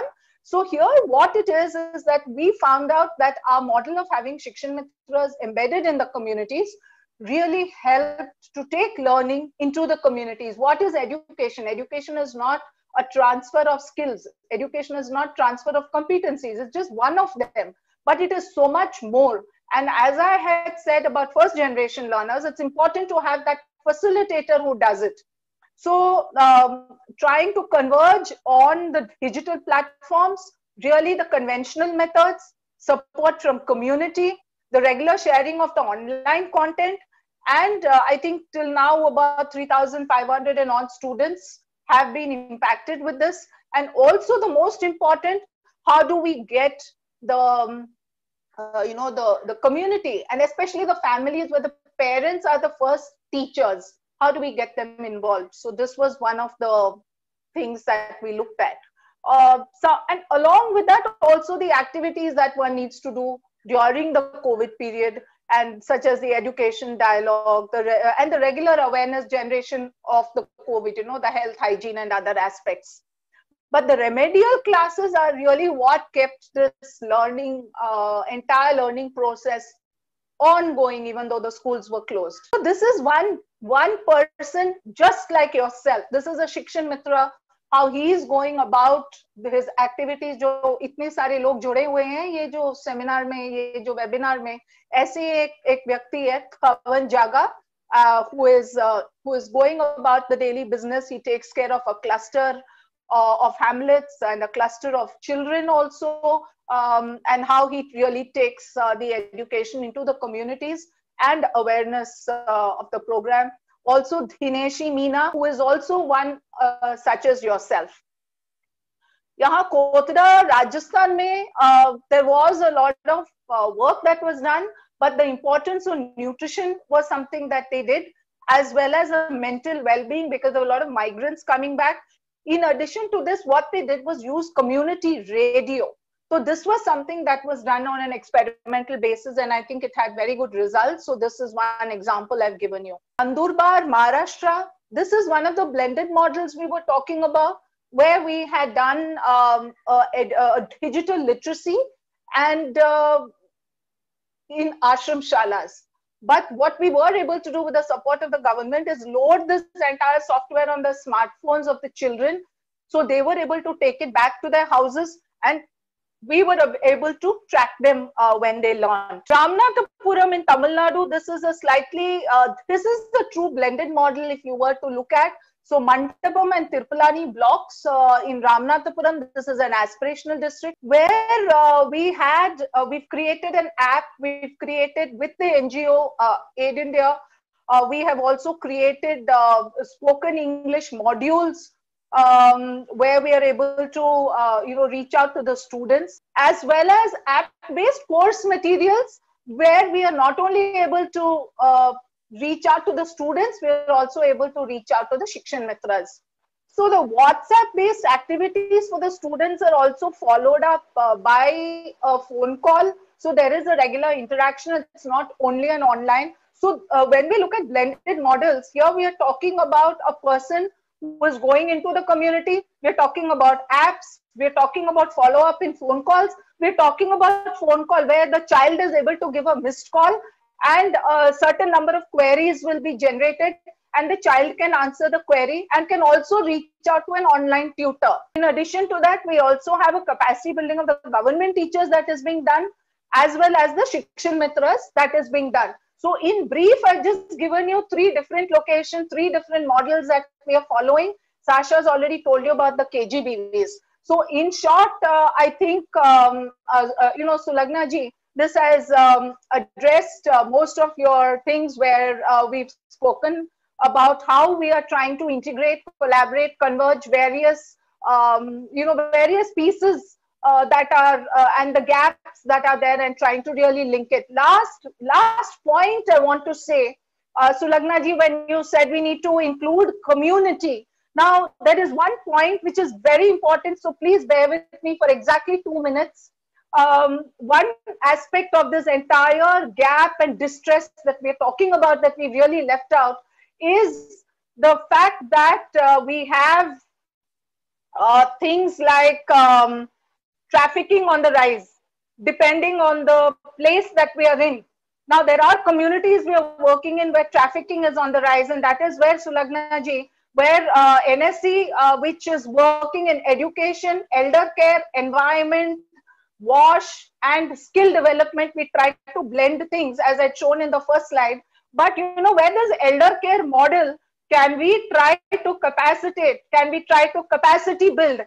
Can we try to include um, include elders to be uh, literally community sentinels? Can we try to include them in this education bit?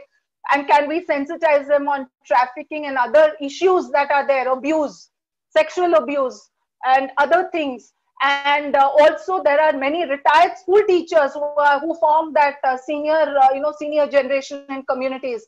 Can they be roped in to teach so this is where, you know, a really, really intensive thought, thought driven process for design. That is why I said designing is very important. Models need to be articulated, thought of, and try to be blended. And we cannot do this alone. last but not least, where you said that we need to involve government, yes, you are absolutely right. Government can give you infrastructure, they can give you the hard aspects of everything, but the softer aspects has to be left to the to the communities, to the CBOs, to the civil society organization and the CSRs if they can get in because that is the only way we can uh, you know all of us need to join forces to really get this thing going uh, especially during this troubled times and in the days to come when we need to think of good design and good processes. I can see some of the chats. I entirely agree with you the messages but time is of the essence and i cannot get into all those points you mentioned but rest assured they're all in my in the programs that nsc runs. All those issues have been addressed. Thank you so much. Thank you for all your patient listening.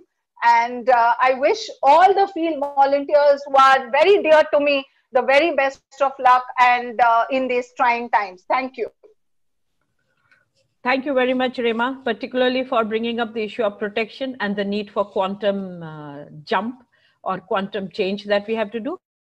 Uh, your presentation was very good, but we really need time to go through that. You know. अगले सत्र के लिए uh, अब मैं दिव्या जालान जी से आग्रह करूँगा कि वो इस चर्चा को आगे बढ़ाएँ दिव्या जालान जी बोध के इस कार्य से खास तौर पे जिसका आपने अभी वीडियो देखा है जिस मॉडल का शिक्षा घर का जो कि अलवर के थाना गाजी और उमरैन ब्लॉक में जो बोध का रूरल प्रोग्राम है, वहाँ पर उस पर जिस तरह से काम किया जा रहा है उसमें जो हमारे पार्टनर ऑर्गेनाइजेशन है, Good Earth Foundation and Ayesha group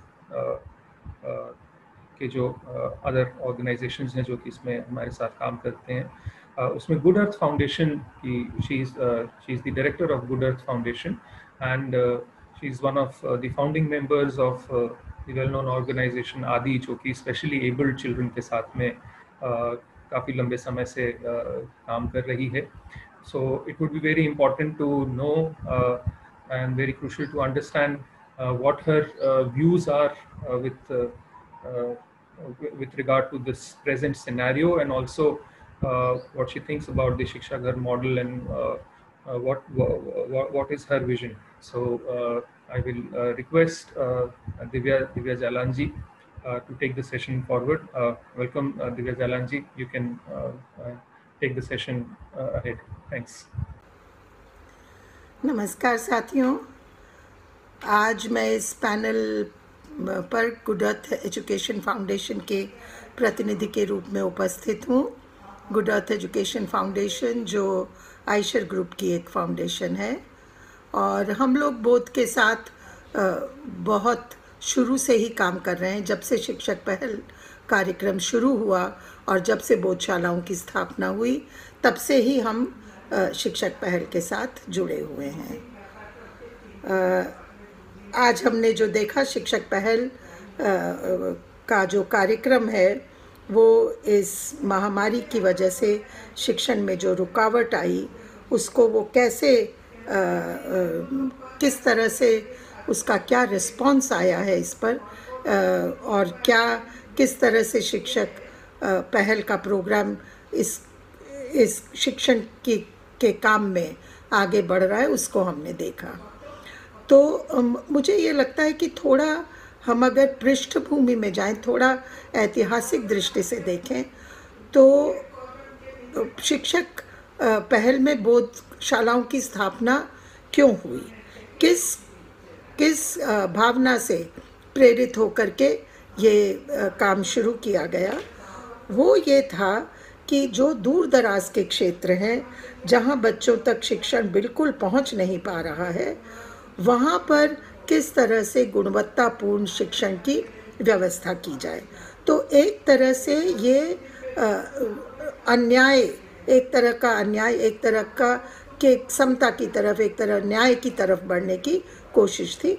और जैसा कि योगेंद्र जी ने कहा कि जब उन्होंने इस ऑनलाइन व्यवस्था के बारे में सुना तो उनको यही समझ में आया कि ये भी एक तरह से अन्याय होगा, एक तरह से ये कमी रह जाएगी कि हमारे गाँव के क्षेत्रों में जहाँ ऑनलाइन की व्यवस्था नहीं हो सकती है, वहाँ के बच्चे शिक्षण से वंचित रह जाएँगे। तो इसके दो ही उपाय हैं। या तो कुछ न किया जाए, शिक्षण को छोड़ दिया जाए, और या जैसा कि बोध जैसा कि बोध की, के हमेशा काम करने की फिलॉसफी है, हमेशा सोचने का तरीका है। ये सोचा गया कि क्या इसमें और क्या विकल्प संभव है। और बोध के काम में हमेशा बच्चे और उनके अभिभावक, उनका समुदाय, यही प्राइमरी स्टेक होल्डर की तरह हमेशा रहते हैं। तो जो भी काम किया जाता है, उसमें हमेशा ये ध्यान रहता है कि कैसे बच्चों के लिए सबसे श्रेष्ठ काम किया जा सके। तो इस व्यवस्था में ये ये स्वाभाविक था कि ये सोचा गया कि किसी न किसी तरह बच्चों तक पहुँचना है। तो उस पहुँचने में भी एक और बात भी है कि समुदाय में जाकर के, बच्चों के घरों में जाकर के किसी भी तरह का शिक्षण करना, ये उन्हीं लोगों के लिए संभव है जो इस एक समुदाय से पहले से जुड़े हुए हों। तो बोध का क्योंकि संबंध समुदाय से बहुत गहरे रूप में हमेशा रहा है। समुदाय की सहभागिता हमेशा रही है बोध के काम, कामों में। इसीलिए ये संभव हुआ। अगर हम इसको एक मॉडल की तरह देखें तो उसके लिए एक ये प्री कंडीशन है कि आप समुदाय में एक सहज ढंग से जा कर के काम कर सकते हैं। तो ये ये एक इस काम की पृष्ठभूमि है।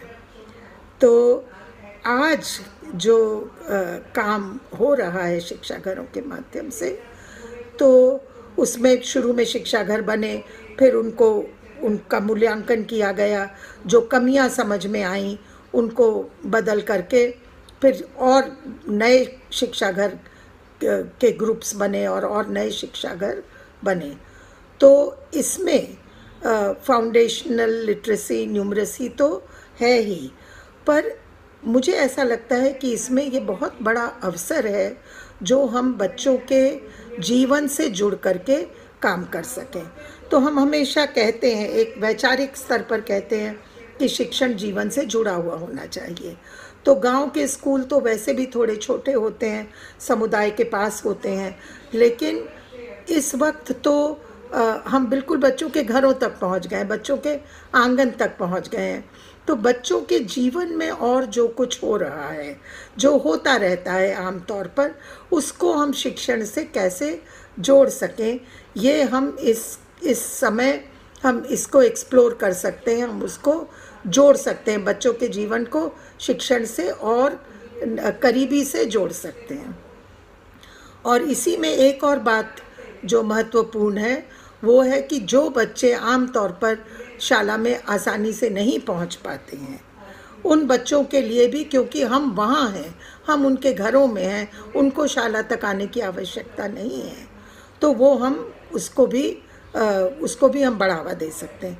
तो इसमें मैं खास कर सोच रही हूँ जो हमारे आ, बच्चे हैं जो विकलांग हैं या आ, जिनको जिनको शाला तक पहुँचने में परेशानी है या शाला में जितना बड़ा ग्रुप होता है या शाला की जो रोज़ की दिनचर्या होती है रूटीन होती है, उसमें इनके साथ काम करना उतना आसान नहीं होता है। तो कहीं पर अगर हम उस दृष्टि से भी जब हम काम कर रहे हैं वहाँ तो हम अगर ऐसे बच्चों के साथ भी अगर हम थोड़ा काम को बढ़ा सकें तो वो एक एक इस, इसकी उपलब्धि होगी। इसके बाद अगर हम टेक्नोलॉजी को लें तो एक इस महामारी ने एक तरह से हम सबको एक तरह प्रेरणा दी है या एक तरह से धक्का ही लगाया है कि हम अपनी तकनीकी क्षमताओं को का थोड़ा सा विस्तार करें, हम उसको थोड़ा सा आगे बढ़ा पाएँ। तो अगर टेक्नोलॉजी की दृष्टि से देखें तो बच्चों तक तो अभी सुविधा नहीं है कि हम ऑनलाइन काम कर सकें। लेकिन इस दौरान बोध के शिक्षकों की जैसे हम सब की ही क्षमता टेक्नोलॉजिकल क्षमता बहुत बढ़ गई है। एक तरह की सहजता आ गई है। जो टेक्नोलॉजी पहले हमारे सहायक का काम करती थी वही अब हमारा आ, मुख्य मीडियम बन गई है काम करने का। तो इसमें जो हमारे जो हमें लाभ हो रहा है जो हमारी हमारा अभ्यास हो रहा है इस दौर के शेष होने के बाद भी हम उसका उपयोग कर सकेंगे, ऐसी आशा है मुझे। और आगे के लिए हम इस अनुभव से हम क्या चीज़ें सीख रहे हैं, अगर हम उनको संगठित कर सकें। बच्चों के बारे में, बच्चों के समुदाय के बारे में, अभिभावकों के बारे में, अपने बारे में, शिक्षकों के बारे में, पेडागॉजी के बारे में क्या हमें नई चीज़ें इस अनुभव से मिल रही हैं हम उनको एकत्रित करें और हम आगे चलकर भी उनका उपयोग करें ऐसी आशा है। धन्यवाद। नमस्कार। Thank you Divya ji it was really insightful I think one of the main points that you raise is is very appropriate and it actually uh, addresses the whole issue of scalability in a इस तरह का एक historical एक uh, मैं कहूँगा एक background है बोध का और बोध के जेनेसिस का, वो बहुत अलग है और उसके चलते जो बोध के बोध से जुड़े हुए जितने भी शिक्षक साथी हैं और अन्य जो लोग हैं वो किस तरह से चीज़ों को देखते हैं किन चीज़ों को ध्यान में रखते हुए, किन सरोकारों को ध्यान में रखते हुए वह अपने पूरे कार्यनीति का गठन करते हैं, वो बहुत अलग है और उसके बिना क्या ये जो मॉडल है, उसे स्केल किया जा सकता है या कैसे किया जा सकता है, ये अपने आप में इतना सरल नहीं है, जो आपने बात कही। और जब तक हम इन पक्षों पर काम नहीं कर लेते हैं, तब तक वास्तविक रूप में हम क्या मैं कहूँगा उसमें एक कदम आगे जाते हुए इस पर भी एक प्रश्न आता है कि हम जिस तरह के समता की बात कर रहे हैं, गुणवत्ता की बात कर रहे हैं तो क्या ये सभी बच्चों के लिए और ख़ासतौर पर इस तरह के बैकग्राउंड से आ रहे बच्चों के लिए उस पर क्या जो हमारी व्यवस्था है जो मुख्य धारा है क्या वहाँ पर कोई इस तरह का सार्थक काम हो सकता है? इस मुझे लगता है कि आपकी जो बातचीत है उससे कुछ महत्वपूर्ण प्रश्न उठते हैं।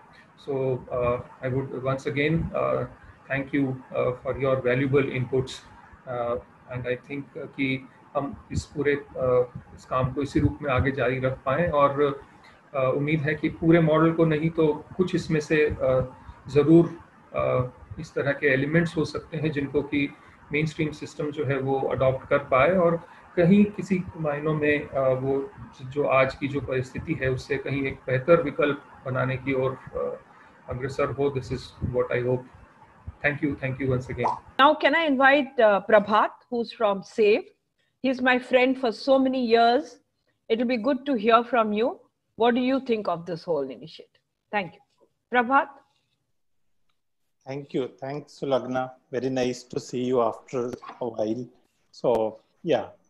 So I'll just take a few minutes only in interest of time and advantage of speaking towards end is that you, you miss most of things get covered.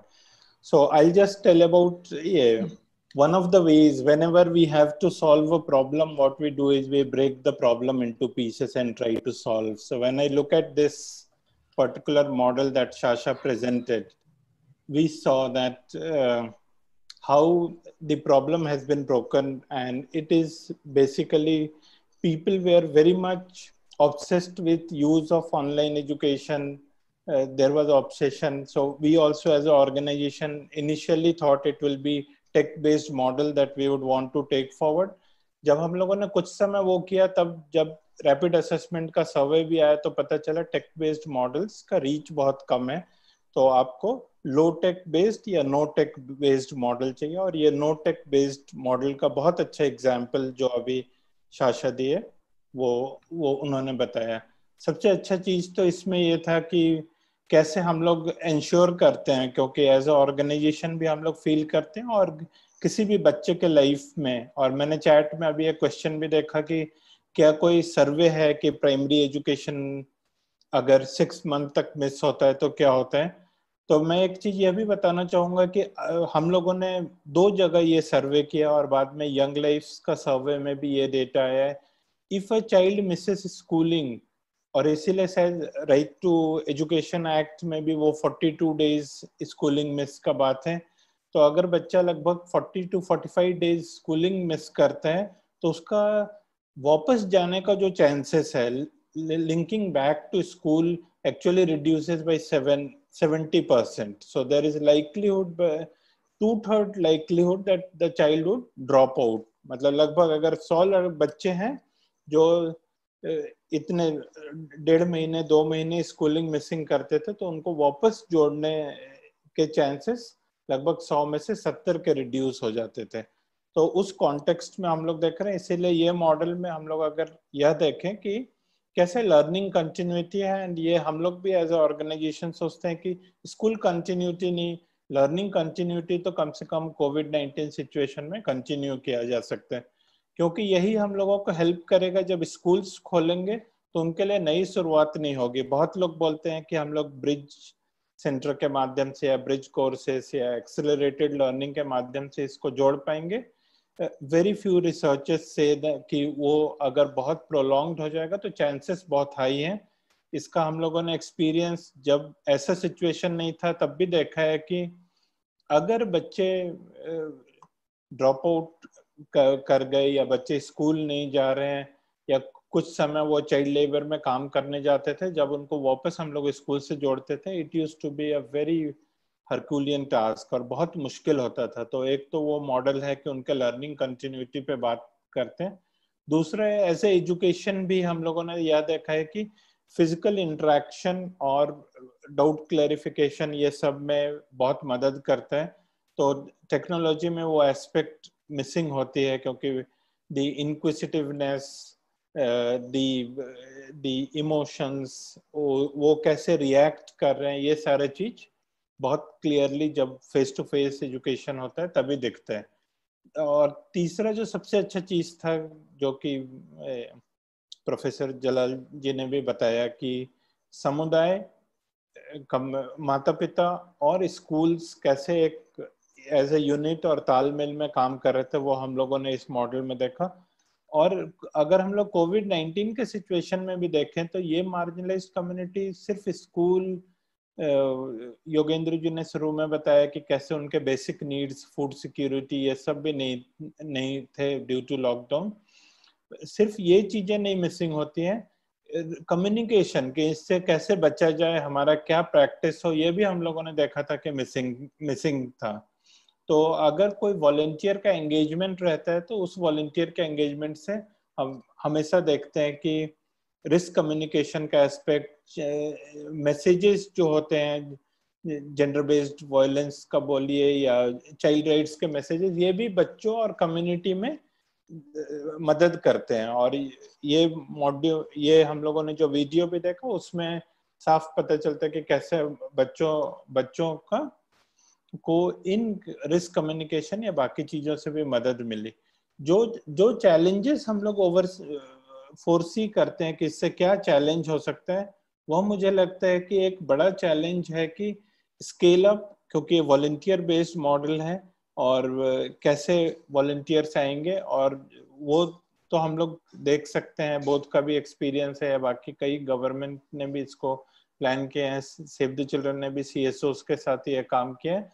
लेकिन जो स्केल अप मॉडल है how do you bring capacity develop the capacity of model in small time वो एक मेरे को लगता है कि थोड़ा चैलेंज होगा और हम लोगों को सोचना चाहिए कि वो एस्पेक्ट पे कैसे काम करेंगे। और लास्ट में मैं एक सुझाव यह भी देना चाहूँगा कि ये डायलॉग और पॉजिटिव स्टोरी बहुत ज़रूरी है, क्योंकि बहुत सारे लोग ऑनलाइन छोड़ के कोई मीडियम ही नहीं देख रहे हैं कि अभी पॉसिबल है या हो सकता है।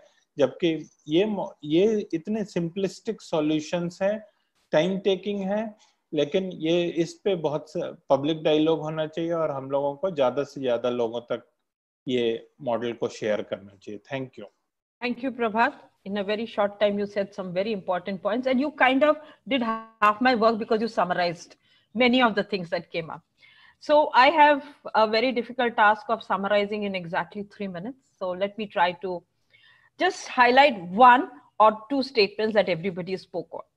It was it was too rich an uh, an uh, uh, session to have in two hours or two and a half hours. This really needed half a day to work on, or more than that, a day to work on. So uh, Yoginji started the program with one important say that lockdown was actually shut down for certain people, economic as well as education, and how it has uh, affected everybody and how challenging it has been for the poorer socioeconomic communities to deal with and how many people are just unaware of this. Sasha, of course, shared the video which everybody has spoken about, and he was talking of the context, which is an interesting factor. The the factors which one needs to take into consideration: fact, context, technology, teachers, community, and different models that can work for different groups.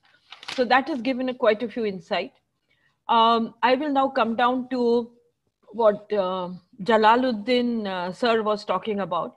Just concentrate on core competencies. Look at cooperative learning. Look at social learning and come back to basics. And then when schools open, the other things can be taken care of. Reading, writing is what, and comprehension is what he highlighted on. Shamji was, uh, he spoke about like one size cannot fit all. He also spoke about the importance of community activities and he appreciated Joe Bodh's child being at the center stage.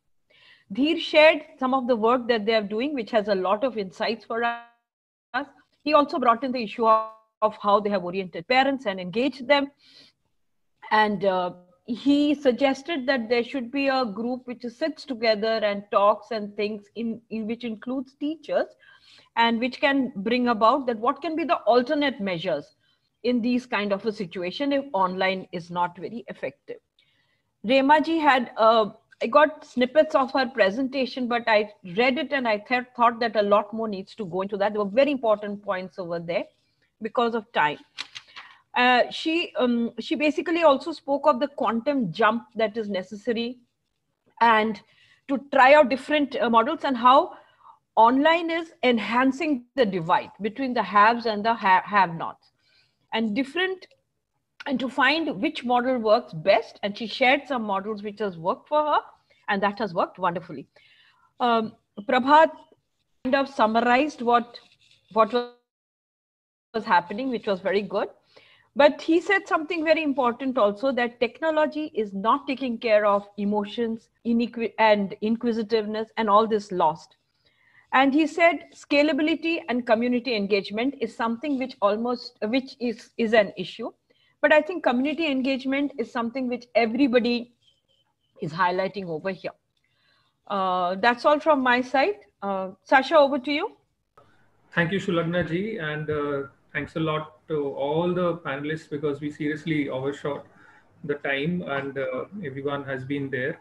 Uh, throughout the uh, not just the panel discussion but the entire session. So, which in the meantime we have uh, uh, Akshay uh, Saxena with us, who who is uh, who heads Avanti. Uh, he has reactions and things to share. He he he's working on a very different direction altogether. So it's very interesting. He's uh, he's uh, really deep into technological outreach and uh, outreach through digital medium. So, no, thank you, Sasha. And uh, you know what I what I'll do is I thought you know more than um, React, I'll just share some data from the digital side. So um, and you know and I think it's it, this kind of internal data, but I thought it'll be nice for everyone to actually know what the truth is, or at least what the, what the directionally the truth is that we're finding from very very extensive digital outreach. Um, and I think in many ways it's very consistent with what uh, you know was mentioned. So very quickly to summarize what Avanti is doing right now, right? So we are helping coordinate a lot of direct uh, SMS and WhatsApp based outreach for online learning uh, for a lot of children. तो जो तो हो, हो ये रहा है करीब आठ लाख बच्चों को अक्रॉस हरियाणा राजस्थान मध्य प्रदेश एंड झारखंड रोज एक लेसन प्लान जाता है विया एसएमएस एंड विया व्हाट्सएप जहाँ पर उनको कुछ वीडियोस दिए जाते हैं पढ़ने के लिए। आ, कुछ एनसीईआरटी के सेक्शंस दिए जाते हैं और कुछ पीडीएफ तो जैसे धीर साहब ने बोला था कि you know the early intervention काफ़ी सारे स्टेट्स में ऐसा था जहाँ पर हम फ़िज़िकल आउटरीच नहीं कर पा रहे थे। तो कोशिश ये हुई थी कि बच्चों को डिजिटल रिसोर्सेज भेजे जाएँ। और हर हफ़्ते स्पेशली हरियाणा में जहाँ पे हमारी पार्टनरशिप थोड़ी ज़्यादा स्ट्रॉन्ग है स्टेट के साथ वहाँ पर एक किस्म का मैंडेटरी वीकली असेसमेंट कराया जाता है जो करीब पचास साठ हज़ार बच्चे रोज हर हफ़्ते लिख रहे हैं। So and this report is going to the state so this intervention in many ways a very large intervention यहाँ पे करीब आठ नौ लाख बच्चे इसमें इन्वॉल्व हैं। उसमें करीब 10 लाख से 12 लाख यूनिक बच्चे ये content over the course of a week consume भी कर रहे हैं। नाउ द बिग क्वेश्चंस हैं कि क्वेश्चन इसमें ये है कि कितने बच्चों तक ये सच में पहुँच रहा है और कितने बच्चे इससे पढ़ पा रहे हैं। तो कुछ डेटा मैं जल्दी से आपके साथ शेयर कर लूँगा and you know and use this more as a reaction to you know much of what was was said and in many ways it supports a lot of what was said. Um, सबसे पहले जो हमारा सबसे controlled cohort है जो 240 school हैं जहाँ पर हम फिजिकली काम करते हैं जहाँ हमारे टीचर्स के साथ रिलेशनशिप्स हैं जहाँ पे हमारे प्रिंसिपल्स के साथ रिलेशनशिप है। uh, उन स्कूलों में भी जो व्हाट्सएप ग्रुप्स पे एनरोलमेंट है और वो करीब 30 से 45 परसेंट तक है ranging from class nine to 12 अब इसमें एक बहुत बड़ा फैक्टर ये भी है कि हमारे बच्चे ज़्यादातर बड़ी ग्रेड्स के हैं और नाइन से 12 तक हैं। तो वहाँ पर हम हमें मिल रहा है कि करीब 20 परसेंट से ज़्यादा ज़्यादा ये नंबर 30 40 परसेंट तक पहुँच जाता है because parents are also more more willing to give that devices to the children इसमें से आधे से ज़्यादा बच्चे फीचर फ़ोन पे हैं स्मार्टफ़ोन पे नहीं हैं। और पिछले दो तीन महीने के एफर्ट से कम से कम जो क्विज का अपटेक है या क्विज में पार्टिसिपेशन है, वो 70 से 90 परसेंट तक पहुँच गया है। But the main point I would like to draw attention to and this was mention by many people right which is with full intervention मतलब चीफ मिनिस्टर डाउन पार्टिसिपेशन से हम काफ़ी सिस्टम में इंटरेंस्ड हैं। हमने टीचरों के साथ हैंड होल्डिंग करके काम किया, उसमें भी the best rates we are being able to achieve is about 35 40 percent of engagement of the children in higher grades and about 70 to 90 percent of participation in quizzes इसको और इसमें भी अदर बिग क्वेश्चन वाज कि क्या बच्चे कुछ सीख भी पा रहे हैं इससे? तो we been running for the last month और so a quick experiment where we are trying to see कि दो तरह के मोड्स हैं। पढ़ाने के। और काफ़ी लोगों ने हमसे पहले भी मेंशन किया, एक है लाइव क्लासेस जहाँ पर स्मॉल ग्रुप में 50 60 70 बच्चों को हम डायरेक्टली लाइव जिसको हम सिंक्रोनस लर्निंग कहते हैं, उस तरह से पढ़ाएँ। और एक और कोहॉर्ट हमने लिया, जिनको हम लोगों ने एक अडेप्टिव गूगल फॉर्म दिया, उसके बारे में थोड़ा सा आपको बाद में बताऊँगा, जहाँ पर हमने एक किस्म से, किस्म का अडेप्टिव लेसन प्लान बच्चों की लर्निंग कैपेबिलिटी के हिसाब से बनाया, जहाँ पे बच्चा जब क्वेश्चन आंसर कर रहा है उस हिसाब से उन्हें अलग अलग पाथ्स पे ले जाया जा रहा है on a Google form it so इससे यू नो कुछ बहुत इमीडिएट ऑब्जर्वेशन ये हैं कि बहुत सारे बच्चे एक्चुअली जो हमारा गूगल फॉर्म है या अडेप्टिव लेसन प्लान है उससे एंगेज भी नहीं करते। काफ़ी बच्चे, करीब 20-25 परसेंट बच्चे उसको बस सीधा एंड में जाके आंसर देके स्किप कर जाते हैं। लेकिन जो बच्चे करते हैं, उसमें I think the most surprising finding is right कि अगर हम बेसलाइन और एंडलाइन कंपेयर करें जो हमने एंकर आइटम्स यूज़ किए थे। जो लाइफ क्लास वाला कोहॉट है that is in many ways performing worse than a self based cohort so far which for us is a surprising finding is a some ways a counter intuitive finding but in many ways is a hopeful finding because it saying that you don't necessarily need to do a very very high intensity tech intervention and a well designed low intensity tech intervention also can actually give you better outcomes directionally और potentially um, and so that i think is a very interesting finding for us we are going to keep digging deeper into it uh, and it, it it leads to many of the things that were observed by the speakers before right key you know is model एक तो purely online model में anyway you're seeing that the learning gains are limited if any right so so, बच्चे consume कर रहे हैं लेकिन सीख रहे हैं कि नहीं इसके बारे में बहुत सारे क्वेश्चन हैं उसके अंदर भी higher technological intervention which is live classes sector जिनको बहुत प्रमोट किया जा रहा है may not be the answer in fact they may be making things harder to access harder to comprehend harder to learn so we have to even if you're going to use technology we have to find smarter easy to use easily consumable methods of delivering technology uh, that is i think one learning The other is the little graph at the bottom, which is केवल 15 percent बच्चे live class access कर पाए right?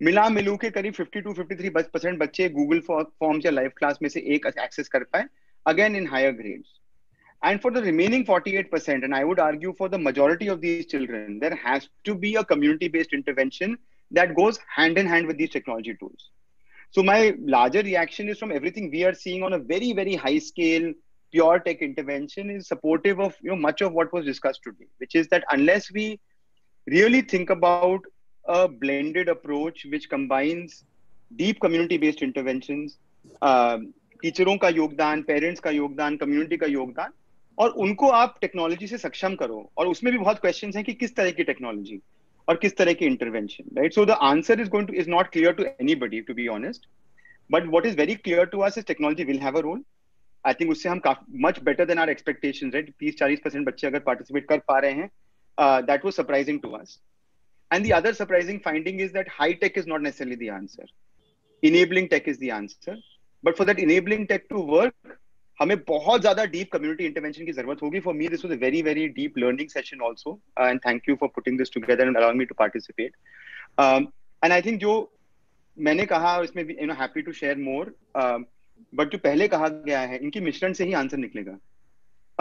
And both will be required but I think the community aspect is going to be the biggest player in this space and i'm very supportive and, and and and acknowledge a lot of what was said before that even from someone who does a lot of work with pure tech the only real answer for the children we care about is going to be community based technology uska samarthan kar sakta hai lekin uska replacement hoga. That's all i had sasha. Thank you. Akshay it's very uh, insightful also for all of us to look at uh, uh, uh your model and to understand uh, the real possibilities uh, and the need for blended models what has to be the what has to be the nature. So i think uh, that was also uh, good learning and uh, it's nice to see that people like you working at very high tech uh, end uh, education also understand why uh, more community led initiatives are required at this moment. Uh, for concluding remarks i have two eminent people with me. As i said Shri Rajen Bhanavatji and uh, Shobhita ji. So I'll first ask uh, uh ji, who's been a civil servant and been working, I think, tirelessly for the development of so many in so many departments. But education, as he always says, is so close to his heart and heart, and now he's a part of Sandan. Uh, he heads the entire uh, uh movement there. So Bhanavat uh, for your concluding remarks, yeah, the floor is yours. Thank you. Thank you so much, Shasha. I hope you are able to hear me. Yes, yes, sir. Yes. Okay, so uh, it was a really treat to uh, listen to all eminent speakers and to learn about the type of work both has been doing, particularly in crisis times. Uh, you have proved this English dictum which has said that uh, when the going gets tough, the tough gets going. And that is what you have shown that yes, the tough has to get going. Uh, और ये भी बात सही है आपने जैसे online we are a very diverse people who have smartphones and people who do not have smartphones, online education, मेरे ख्याल से ये ब्रिज डिवाइड को कम करने की वजह बढ़ाने का काम करता है। तो बिना ऑनलाइन एजुकेशन के कम्युनिटी की मदद से और अपने वॉलंटियर्स की मदद से कैसे लोगों की नीड को पूरा किया जा सकता है पहचान करके, उसका बहुत अच्छा उदाहरण, एक पायलट प्रोजेक्ट की तरह जो जिन गाँवों में आपने काम किया, बहुत अच्छा उदाहरण प्रस्तुत किया है। अब सवाल यही है कि अगर ये नहीं किया गया तो मुझे डर ये है कि अगर ये, हम लोग केवल, बाकी लोग केवल हाथ पे हाथ धरे बैठे रहे, इंतज़ार करते रहे कोविड को समाप्त होने की, साल भर बाद अगर खत्म भी हुआ, तब तक गैप उन लोगों के पास जिनके पास ऑनलाइन एजुकेशन को लेने की सुविधा है और जिनके पास ये सुविधा नहीं है, उन दोनों में इतना गैप बढ़ जाएगा।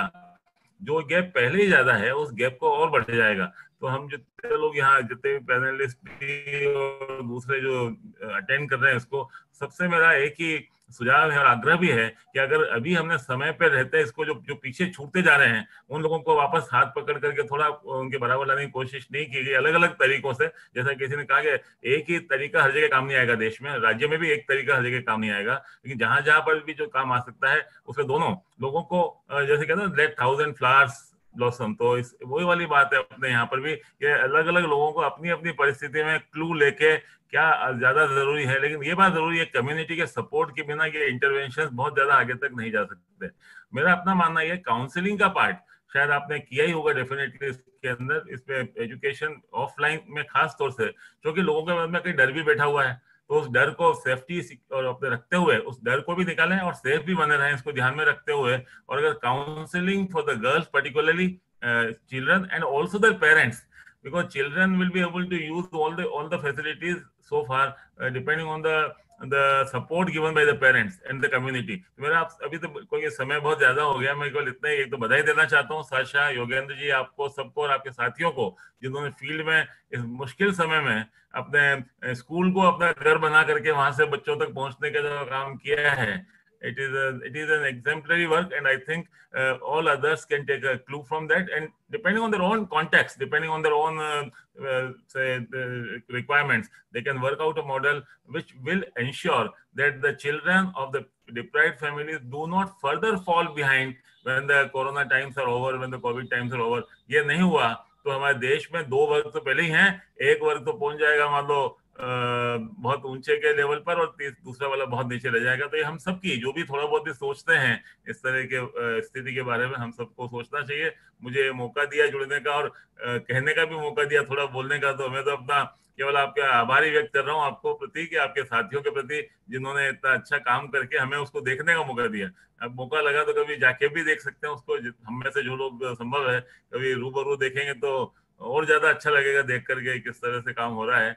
तो हम लोग भी इसमें जुड़ते हैं हम लोग भी अगर निमित्त बनते हैं अच्छे काम में तो it will be our privilege and thanks a lot once again and wish you all the very best to everybody in their endeavours to do go head thank you so much you, thank you, Banav sir. Uh, uh, and uh, I really hope that uh, this emerges as a movement where uh, some clear lines are evolved, as you said, and uh, we address the real needs on the ground and that's what uh, we should be focusing on and and we should also pressurize the government एक चीज़ Sasha का थोड़ा government में आपका भी थोड़ी दखल है government को भी थोड़ा सा we all have to put together the pressure on the government की छोड़नी तो ऑनलाइन ऑनलाइन के भरोसे सरकार समझ जाएगी ऑनलाइन कर दिया तो सब हो गया नहीं हो सकता ऑनलाइन में या तो हर परिवार को स्मार्टफ़ोन दे दे वो भी अलग बात है access is one thing secondly how can you replace a physical interaction with the children with the online thing so we all have to work together in this, and uh, we all should partner with each other. Thank you. Yes, yes. Uh, uh, thanks a lot, uh, Rajin Bhanavat sir. Now I have Shobita ji, who's been part of the civil society movement in Rajasthan for a long time. now she heads IDS here in Jaipur. Uh, to give the concluding remarks. And I, I must say that uh, she has been part of both since very beginnings of both.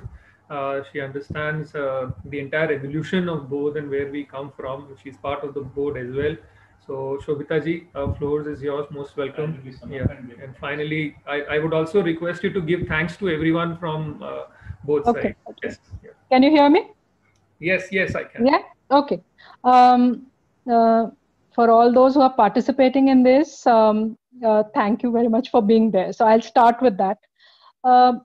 मुझे लगता है कि जो इतना एक बड़ा dismal सा scenario है कोविड के चलते जो बोध का काम आज सबके साथ शेयर हुआ उसको उसको देखकर और जो बातें हैं उसको सुनकर मुझे लगता है कि एक एक राहत फील हुआ। क्योंकि थोड़ा मैंने अभी जो राजस्थान सरकार द्वारा ये स्माइल प्रोग्राम को इम्प्लीमेंट किया जा रहा है उसको उसको देखते हुए और उसको समझने की जब कोशिश करी तो बहुत सारी चीज़ें जो बोध के एक्सपीरियंस और बोध का जो काम आज दर्शाया गया उसको मैं देखती हूँ तो मुझे ये ज़रूर आज मैंने सोचा कि ये बहुत छोटी छोटी चीज़ें हैं जिसको देखते हुए बोध का काम और उन्होंने जिस, किस तरह से क्या आयाम निकाले कि बच्चों की पढ़ाई को एक निरंतरता मिले। तो बहुत ऐसा कोई जैसे ऑनलाइन लर्निंग पर इतना ज़्यादा ज़ोर दिया जा रहा है कि भाई, जैसे भानावत जी ने अभी कहा कि ऑनलाइन कर दिया तो सारे बच्चों को की शिक्षा हो गई। तो उसके उस उस सोच के चलते हुए किस तरह से कम्युनिटी को जोड़ते हुए टीचर्स को जोड़ते हुए और एक हमने रास्ता निकाला। मुझे लगता है कि आ, उस पर हमें गौर करना आ, बहुत ज़रूरी है। और आज की चर्चा में अलग अलग और एक्सपीरियंसेस निकल के आए हैं, शायद उसको भी कहीं ना कहीं इकट्ठा करने की ज़रूरत है। और जो एक मुझे बहुत बात ऑलवेज लगी है, शायद कुछ थोड़ा बहुत जब एजुकेशन को समझने की कोशिश करी है तब कि कहीं ना कहीं जब सरकारी स्कूल में बच्चों की बात आती है और जिस बैकग्राउंड से बच्चों की बात आती है तो हमारी एक जो सरकारी लेंस है it continues to be very insensitive you know आज हम सब समझ रहे हैं कि जो online learning which is such an unfamiliar terrain for most of the children who are in the government system और हमने ये सोचा कि एक ऊपर से ऑर्डर आया सरकार का और भाई हमारी ऑनलाइन लर्निंग की शुरुआत होगी वो कहाँ, क्या मतलब उसमें अभी टीचर्स खुद भी जूझ रहे कि वो कैसे नेगोशिएट करें। बच्चों की तो आप बात छोड़िए, पर अगर पहले ही इस पर कोई चर्चा होके काम होता तो मुझे लगता है आ, शायद जिस तरह की स्थितियाँ बनी हैं उस तरह की स्थितियाँ नहीं बनती।